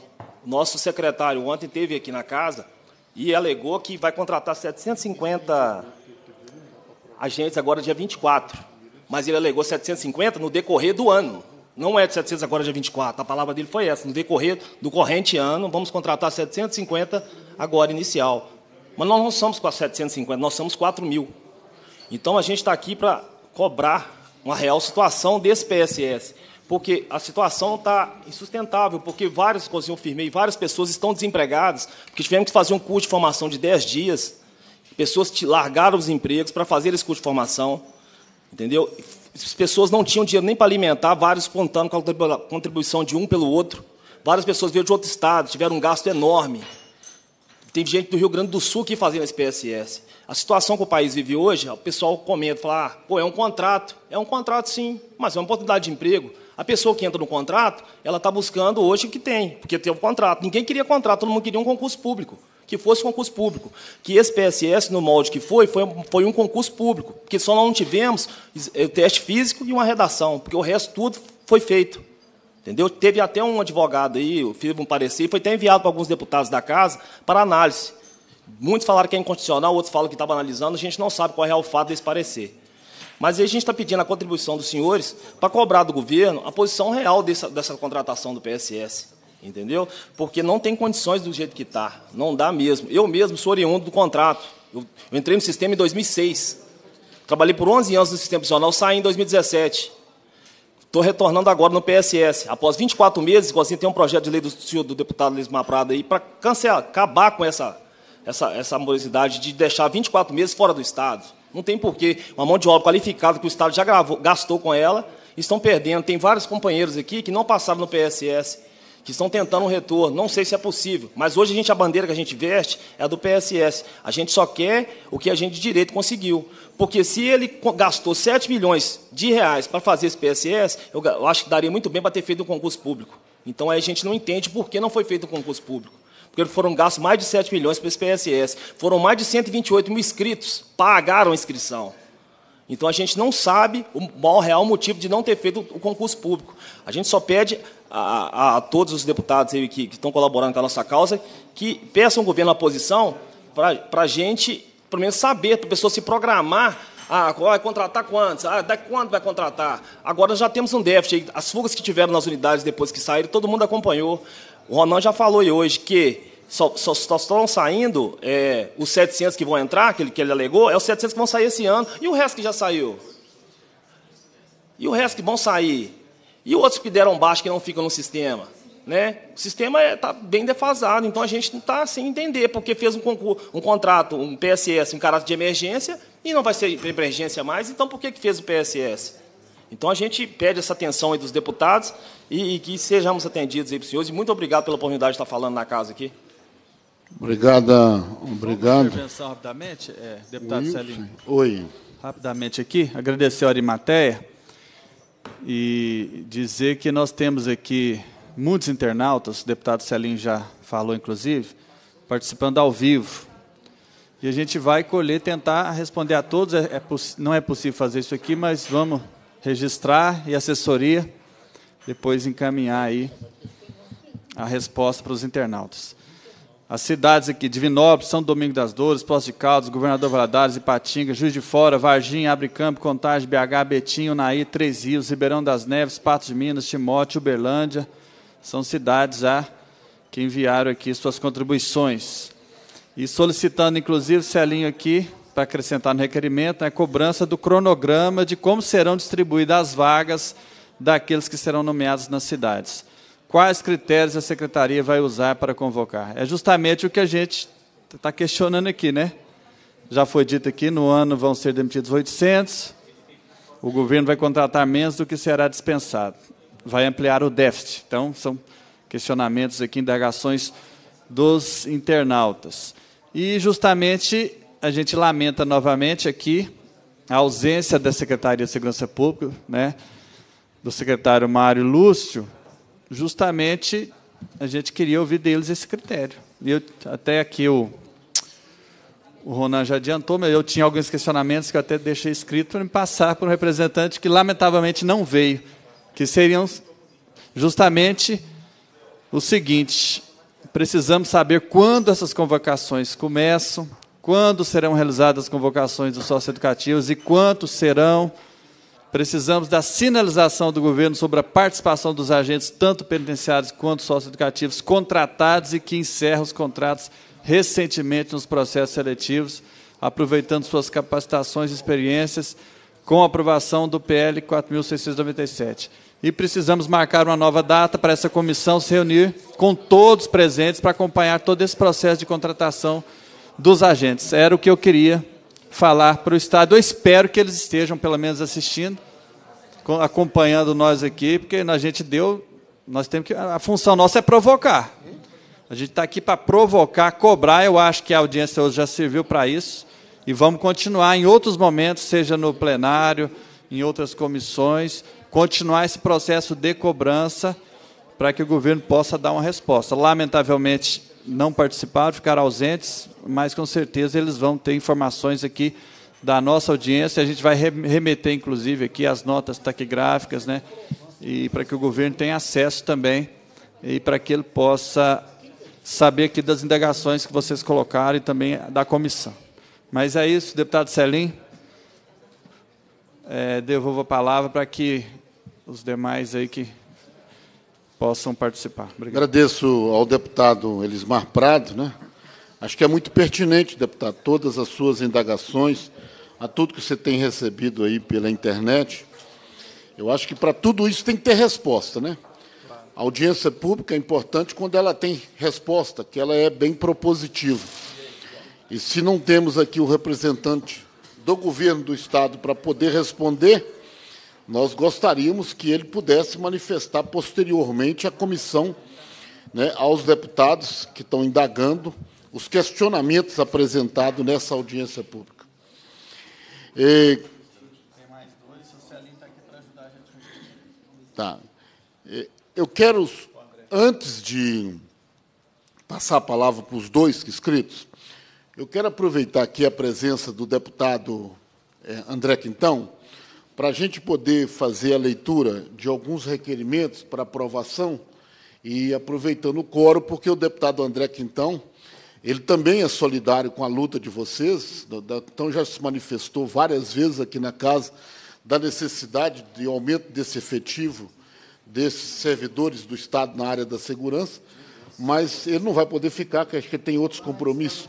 Está na escola de tempo integral, numa outra audiência que está tá acontecendo no mesmo momento. Mas eu quero aproveitar aqui para a gente poder fazer a leitura dos requerimentos para que a gente possa colocar em votação. Requerimento do deputado Betão, nos termos regimentais, seja realizada audiência pública para debater a situação dos trabalhadores da UAI Praça 7 e UAI Barro Preto Requerimento também do deputado Betão requer, através do regimento, seja encaminhado ao secretário de Estado de Governo, em Belo Horizonte, pedido de informação sobre a situação da MGS, em especial sobre a demissão de trabalhadores após o fechamento da unidade do Barro Preto, UAI. Requerimento do deputado Mauro Tramonte, que requer seja encaminhado ao governador Romeu Zema, pedir de providências para que promova a reabertura da unidade integrada de atendimento do AI do Barro Preto e a realocação de seus servidores e daqueles que foram dispensados na unidade da Praça 7. Haja visto o comprometimento do atendimento do cidadão mineiro na capital e do interior. Requerimento os deputados que eu aprovo permaneça como se encontra. Passo a palavra para o deputado André Quintão para a leitura de requerimento de minha autoria.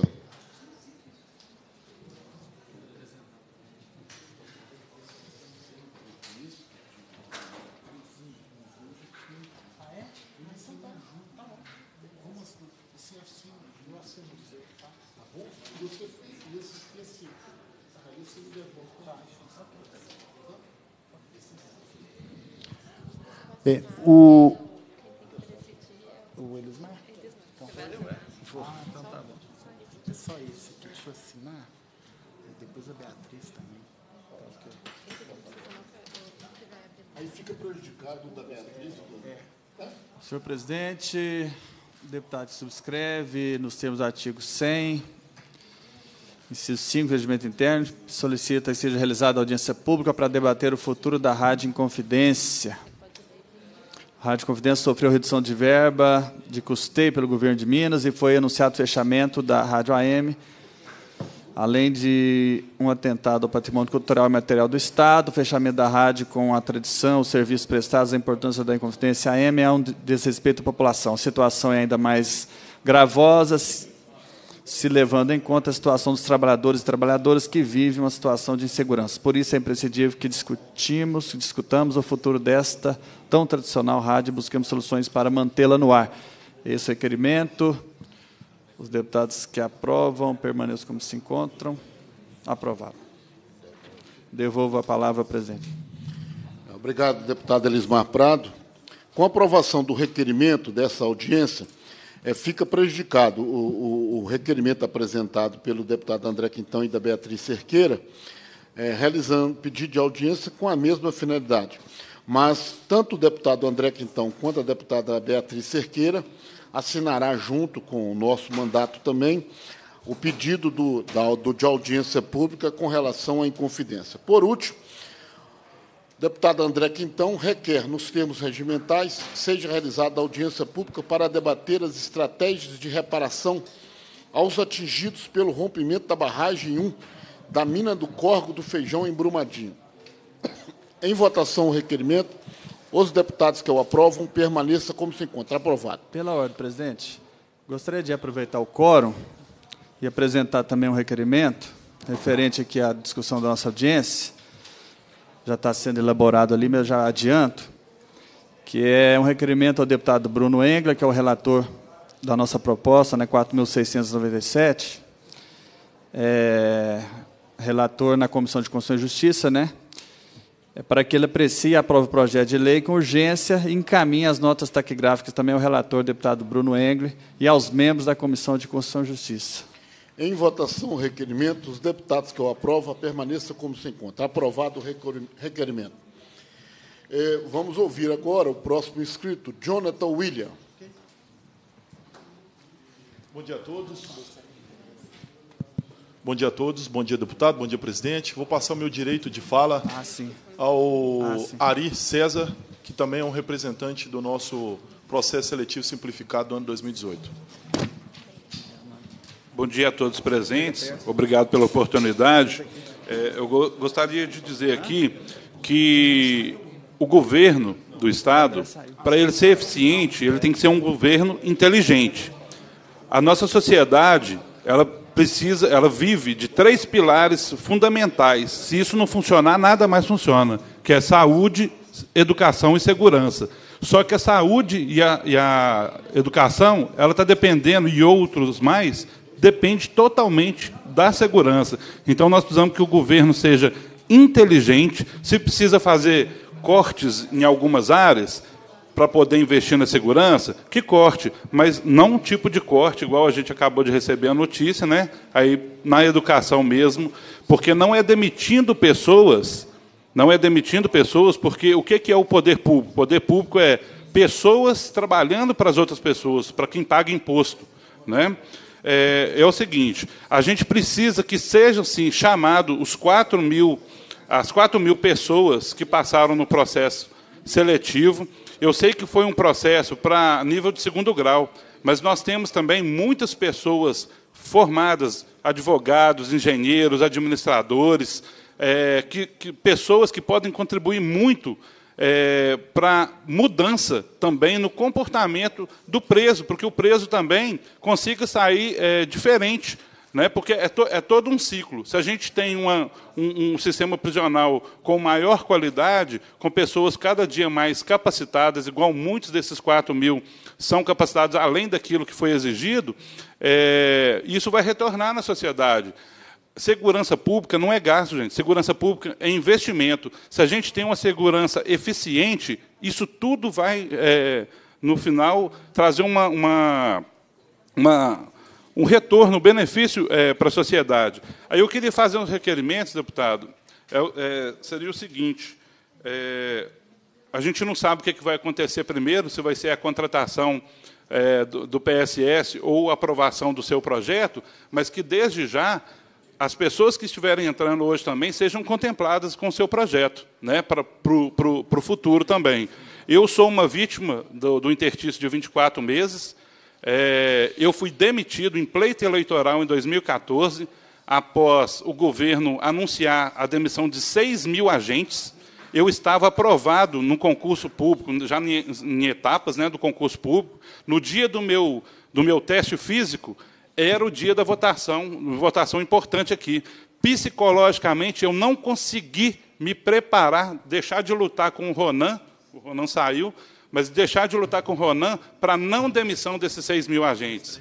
Pelo um TAC do Ministério Público, 600 foram demitidos. Eu estava entre esses 600, faltando um ano e meio para o meu contrato vencer.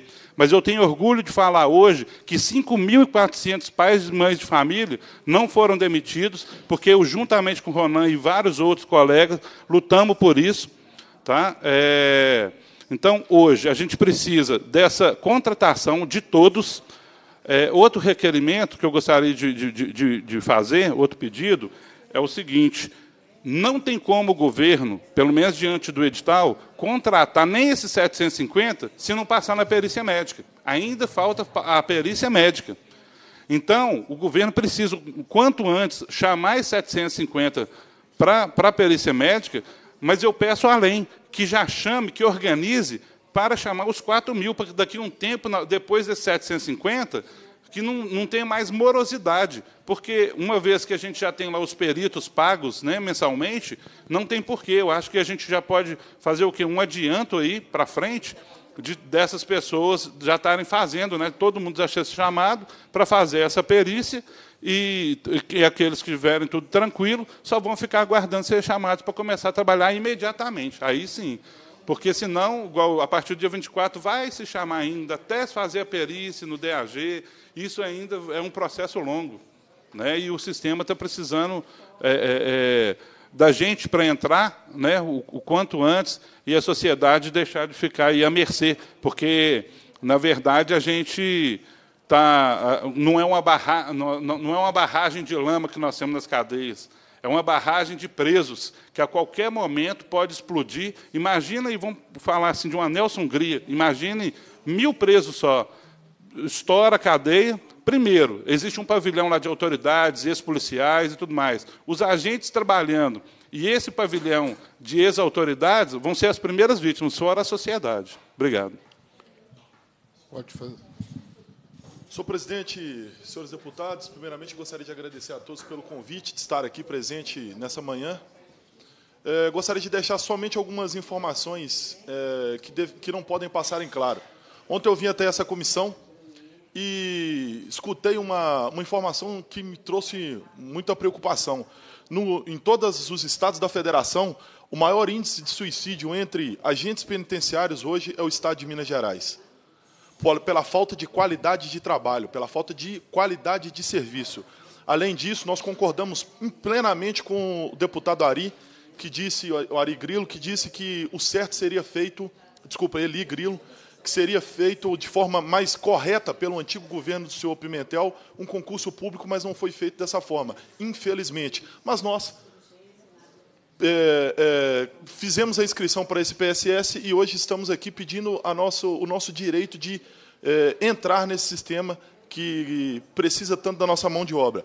É, senhores, só vou deixar uma, mais uma informação aqui para vocês, que existe hoje unidades dentro da região metropolitana de Belo Horizonte, unidades prisionais que tem um agente cuidando de 200 presos, 300 presos. E isso é uma bomba relógio. Isso é um barril de pólvora é, é, próximo a explodir.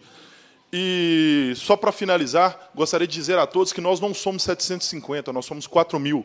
4 mil agentes penitenciários que foram treinados e estão preparados para entrar no sistema penitenciário e que o sistema penitenciário precisa da nossa mão de obra, precisa que, que, que todos nós é, não seja, não é para dia 24 de abril, não é para dezembro, é para ontem. O sistema prisional hoje está com déficit gigantesco de agentes e precisa melhorar em prol da sociedade, em prol também do preso, da família do preso e principalmente em prol da nossa segurança pública. Obrigado. Obrigado. Quero convidar para fazer a palavra. Você quer botar mais uma explanação? Pode ficar à vontade. Peço licença é, para ter a fala também o seguinte, um outro pedido eu sou a favor, totalmente a favor, do ajustamento do sistema é, prisional com concurso público, mas que nós não sejamos injustiçados, 4 mil que passaram, pagaram, deram seu suor, né? É, investimento, o investimento feito também é, no sistema prisional, no governo do Estado, que antes de ter um concurso, que, que, que se faça um acordo, um TAC aí entre o governo, que nós enquanto, não, não haja um concurso enquanto nós também não fomos chamados para o trabalho. Obrigado. Com a palavra, Elaine Maciero. Bom dia, senhor, Bom dia, senhor presidente, é, deputado Elismar. Meus agradecimentos uh, por nós podermos estar manifestando aqui. Vou passar a palavra para o meu colega aqui, tá bom? Bom dia a todos. É, primeiro, agradecer né, a oportunidade. E eu queria também trazer alguns dados importantes que não foram mencionados ainda. É, na realidade, no decorrer do processo seletivo, houve algumas baixas no curso também. É, então, não completou-se o 4 mil que o edital previa. É, além desses, dessa previsão do edital que não supre os 4 mil, ou seja, o déficit que já vai ocorrer desses 750 entrando e 800 saindo, ainda temos ainda também esse déficit no nosso próprio processo seletivo. Ah, além disso, é, vale ressaltar, aí os colegas também deixaram isso claro, fizeram muito bem, o estado vexatório que acaba deixando nós, candidatos, pela falta de informação, a decorrência da demora do, da divulgação dos resultados, o cronograma que nós não obtivemos até hoje, é, vários ofícios também enviados até o governador, tentamos respostas de várias é, é, entidades diferentes e não conseguimos nenhum posicionamento. Candidatos aí que precisaram deixar os seus empregos, saíram aí de seus estados, nós gastamos com alimentação, o curso não, não teve ônus algum para o Estado, foi todo por conta dos candidatos. É, o uniforme, é, almoço, é, enfim, teve candidato que, infelizmente, é, acabou passando mal no curso em decorrência da, da da falta de alimentação mesmo. É, a gente obteve isso. Tivemos aí também que fazer a impressão das apostilas. Então, assim, é um, é um descaso com nós candidatos. Mesmo sabendo de todos os problemas que já, já vem enfrentando o sistema prisional, eu tenho certeza que todos nós presentes aqui, é, a vontade é de agregar o sistema, é de fazer uma, um trabalho bem feito, é, com a melhor disposição possível, melhorar para que é um todo, a sociedade precisa do sistema prisional e a gente tenha é, essa plena consciência e fazer o uso do melhor serviço. Pedimos sim a convocação de dos 4 mil, que não são os 4 mil, é, justamente porque colocando esses 4 mil ainda sim vai ficar em aberto o, o déficit, né? É, e não somos 750, somos 4 mil. Fizemos a prova juntos, fizemos aí um, um, um processo seletivo que foi rigoroso, concorremos com 130 mil candidatos, foi chamado aí 8 mil para as etapas seguintes, uma investigação social que eliminou muito a, é, a gente que não era necessário ter eliminado, e após isso nos encontramos nessa situação aí. Eu agradeço a oportunidade. Obrigado. Obrigado. Eu quero passar a palavra para as suas considerações. Já vamos entrar nas considerações finais, porque todos os inscritos já participaram, né, fazendo uso da fala. Mas passo já a palavra para o deputado Cleitinho. É, bom dia a todos e a todas. É, prestei bem atenção na fala e o que me chama a atenção é o seguinte: o que a gente mais tem que investir no país é na educação. Mas a educação ela é a longo prazo. Então a gente vai ter uma qualidade de educação, um país melhor a longo prazo. Então, até quando isso for acontecer, maior investimento que a gente tem que fazer é na segurança. Então a gente tem que dar segurança. E não é só convocar vocês, não. A parte de convocar, tudo bem. Mas se não der a estrutura que vocês merecem, não adianta fazer nada. Sabe por quê? Porque a polícia militar prende e quem aguenta a bronca depois lá de bandido, de estrupador, de que for, tudo que vocês conhecem já sabe. São vocês que aguentam. Então não é só essa questão também. Sabe, a gente precisa valorizar a polícia militar, a polícia civil, a polícia federal, mas precisa valorizar vocês também. Sabe? Agora que o poder legislativo, ele tem o poder de provocar, ele tem o poder de fiscalizar, de legislar. Ele não tem o poder da caneta que é o poder de poder resolver. Eu já vi muitos agentes me ligando, Cleitinho, me chamando, mandando mensagem, resolve esse problema para a gente. Se pudesse resolver, a gente já teria resolvido. Vocês podem ter certeza disso. Aí eu vejo a convocação aqui para audiência pública e quem tem o poder de resolver não veio. Então essa audiência pública aqui que não vai resolver de nada. Não vai resolver de nada. A gente, tem, a gente tem que falar sempre a verdade, sabe? Jogar limpo com vocês. Porque aqui o legislativo não tem poder de resolver, não. Né? Então, eu queria até depois chamar a atenção dessas questões de convocações. Se convoca e não vem, tira da folha de pagamento, porque não tem condição, não. É. Tem que vir. Quando você convoca um secretário, ou convoca quem for, tem que vir, tem que estar aqui. É ele que, tem, que vai poder esclarecer por que, que, por que, que pode e por que, que não pode. A gente está aqui para representar vocês. É o que foi feita, fez audiência pública. Agora, ficar fazendo audiência pública para não resolver, não adianta nada. Então, quero deixar aqui a minha solidariedade com vocês aqui. Tem meu apoio. Uma coisa que o governo tem que entender, a gente entende que o governo está quebrado. Pegou um Estado quebrado. Mas eu entrei sabendo disso. O governador entrou sabendo disso. Agora, serviço básico não pode cortar, não. Corta onde que for, mas não corta no básico, não. E básico são três pilares: segurança, saúde e educação.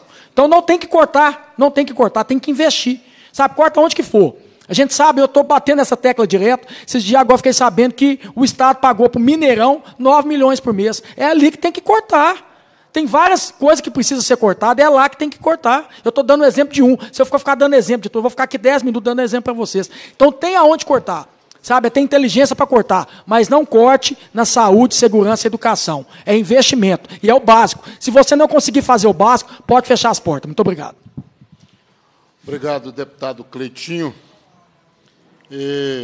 Para suas considerações finais, é, doutor Marco Antônio dispensou, do, o representante também dos, da União Mineira dos Agentes, também Ronan, dispensou, para que possa também fazer suas considerações finais. Alex Batista.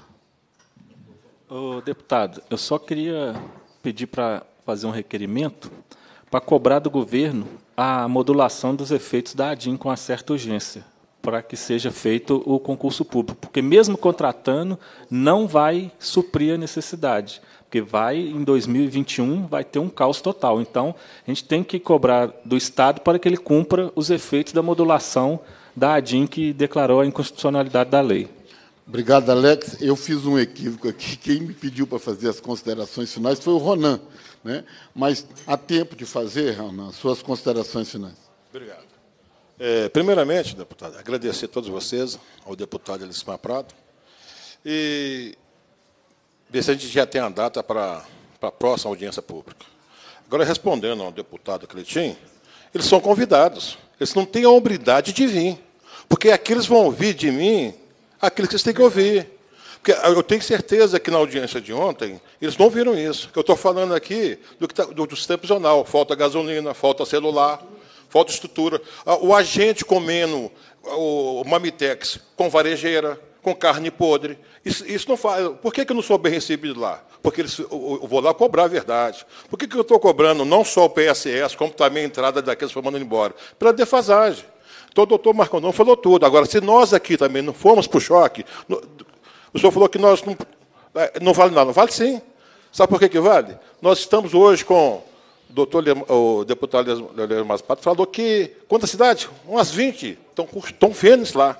Estão vendo os, os desdeixos, a falta de respeito, a falta de compromisso e de responsabilidade dessa gestão.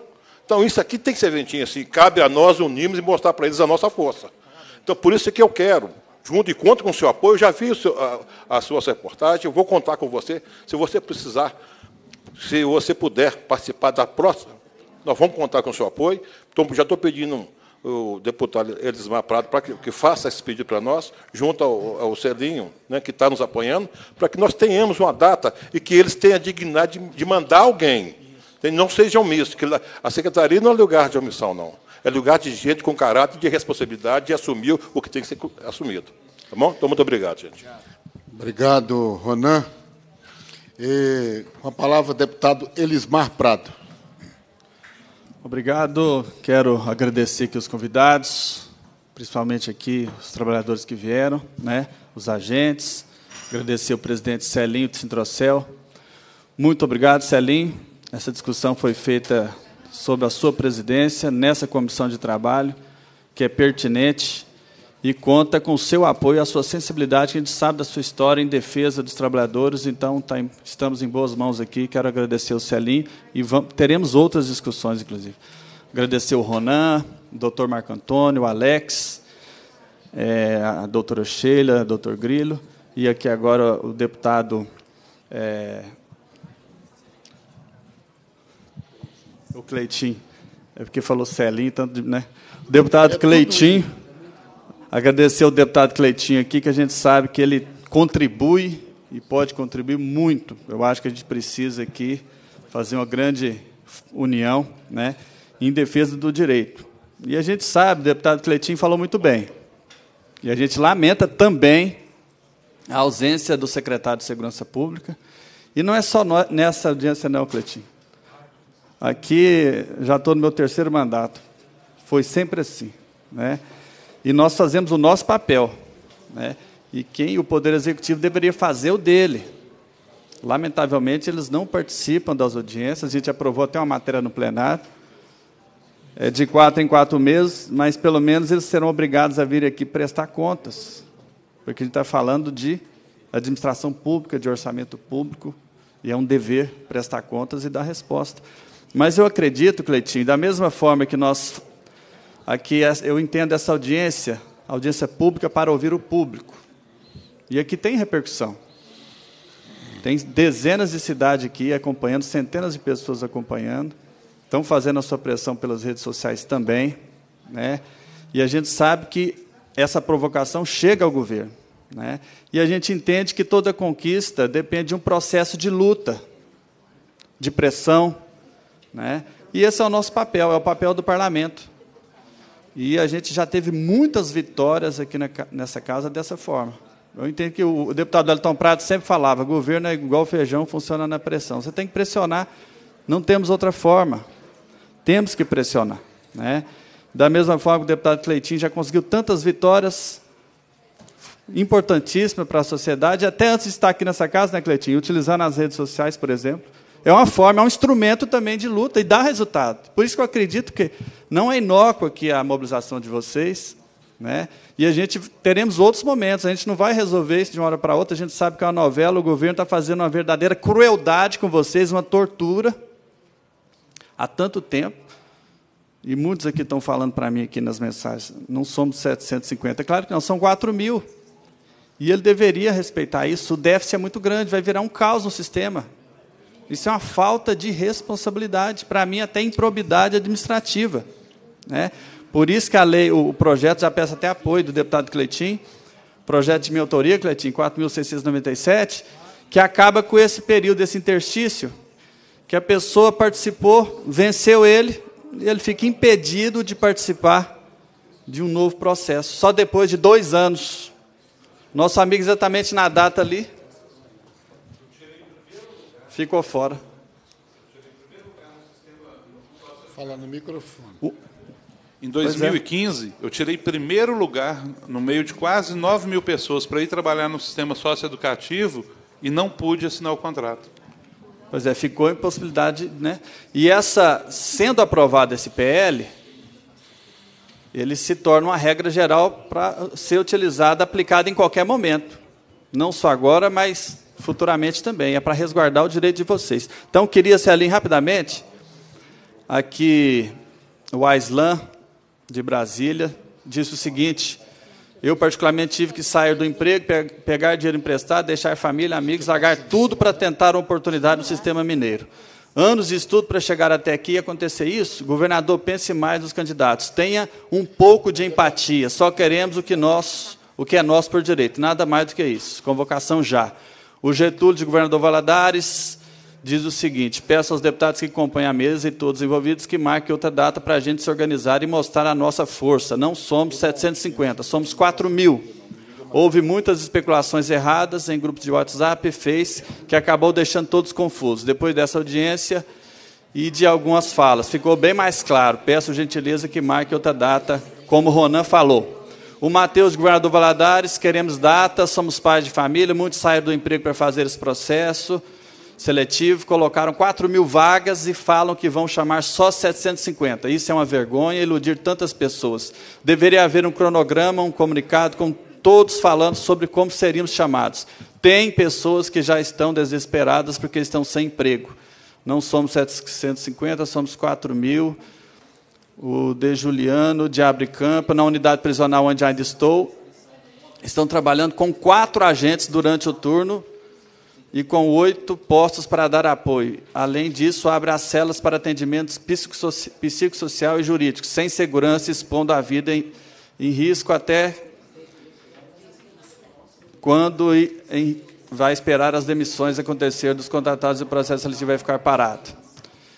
É, resumindo aqui, Efraim, de Belo Horizonte, é um desrespeito aos candidatos que dedicaram seu tempo e dinheiro para serem provados no PSS, ainda mais diante da demanda do sistema. Estou indignado, não somos 750, somos 4 mil, convocação já. O De Juliano fala também. No momento estou me vendo desempregado, minha família que depende do meu labor vai passar necessidade, estou trancando a faculdade e agora queria saber se vamos ter a importância de estarmos mais um tempo até o próximo concurso público e a manutenção dos agentes contratados. Enfim, né, o projeto aqui 4.697 pode resolver o problema de muita gente. Se o governo fizer um concurso, eles não ficariam fora, eles vão ter um novo processo de contratação também. Né? Então, era uma maneira de de conferir esse direito né, e aproveitar toda a experiência também. Então, quero agradecer a todos. Nós temos dezenas de questionamentos, nós vamos encaminhar a todos, tá? E a gente pede o apoio de todos os pares a esse projeto. Reitero os agradecimentos. Cleitinho, obrigado também pelo apoio, né, e a todos vocês para a gente continuar imobilizado nessa luta. Obrigado, Celinho. Obrigado, deputado Elismar Prado. É, só para que a gente possa também encerrar, dentre todos os internautas que participaram dessa audiência pública, e nós tivemos a participação de mais de 100 pessoas, né? e o deputado Elismar Prado já colocou algumas manifestações, mas eu quero destacar duas, que as perguntas são quase que na, na mesma linha. É, somos 4 mil, de Belo Horizonte. Em 2018, muitos contratados, muitos contratos foram encerrados. E este número aumentou em 2019. Esta convocação não irá suprir as rescisões e muito menos o déficit que há no sistema prisional. Inclusive, recentemente houve fugas em presídios, o que motivou até mesmo a interdição total da penitenciária Nelson Hungria, por falta de agentes. Teremos que esperar uma tragédia para poder adotar as medidas? Somos 4 mil mais uma vez, né, é um alerta para esse governo. É, Elvis, de Uberlândia, bom dia, pagamos a taxa de inscrição, fizemos prova, escrita, passamos por todas as fases igual um concurso público. Inclusive, saímos dos nossos próprios empregos para fazer o, curso de formação. Não é justo convocar apenas 750. Não se corta gasto com segurança. Não somos 750, somos 4 mil. Convoca Zema. PSS 2018 já. Isso tudo precisava que o governo tivesse um representante aqui para ouvir os apelos que chegaram pela internet, todas as manifestações chegadas ao deputado Elismar Prado, mas infelizmente nós não tivemos a presença do representante do governo. Teve aqui um representante que anotou algumas perguntas, algum questionamento e que já se deslocou. Mas a gente tem aqui a obrigação de estar sempre realizando essas audiências Porque nós, enquanto deputados estaduais, nós não somos gestor, não, nós não somos executor, não. Nós somos fiscalizador. E uma das missões nossas é fiscalizar. E nós estamos fiscalizando e denunciando as péssimas condições do serviço de segurança pública com relação ao sistema prisional.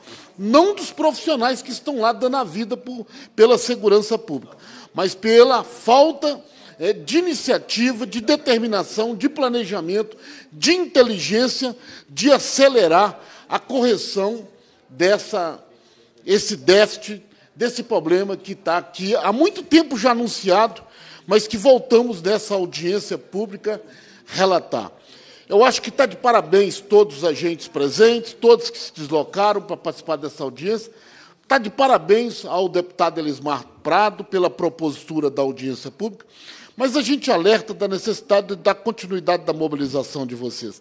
É a mobilização de vocês que vai alcançar os 4 mil e cobrar efetivamente uma celeridade na convocação dos 750 para minimizar e a gente em busca dos outros 3 mil e 250 para completar os 4 mil.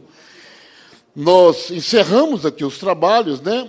Cumprida a finalidade da reunião, a presidência agradece a presença dos parlamentares, dos convidados, do público presente, convoca os membros para a próxima reunião ordinária, determina a lavratura da ata e encerra os trabalhos.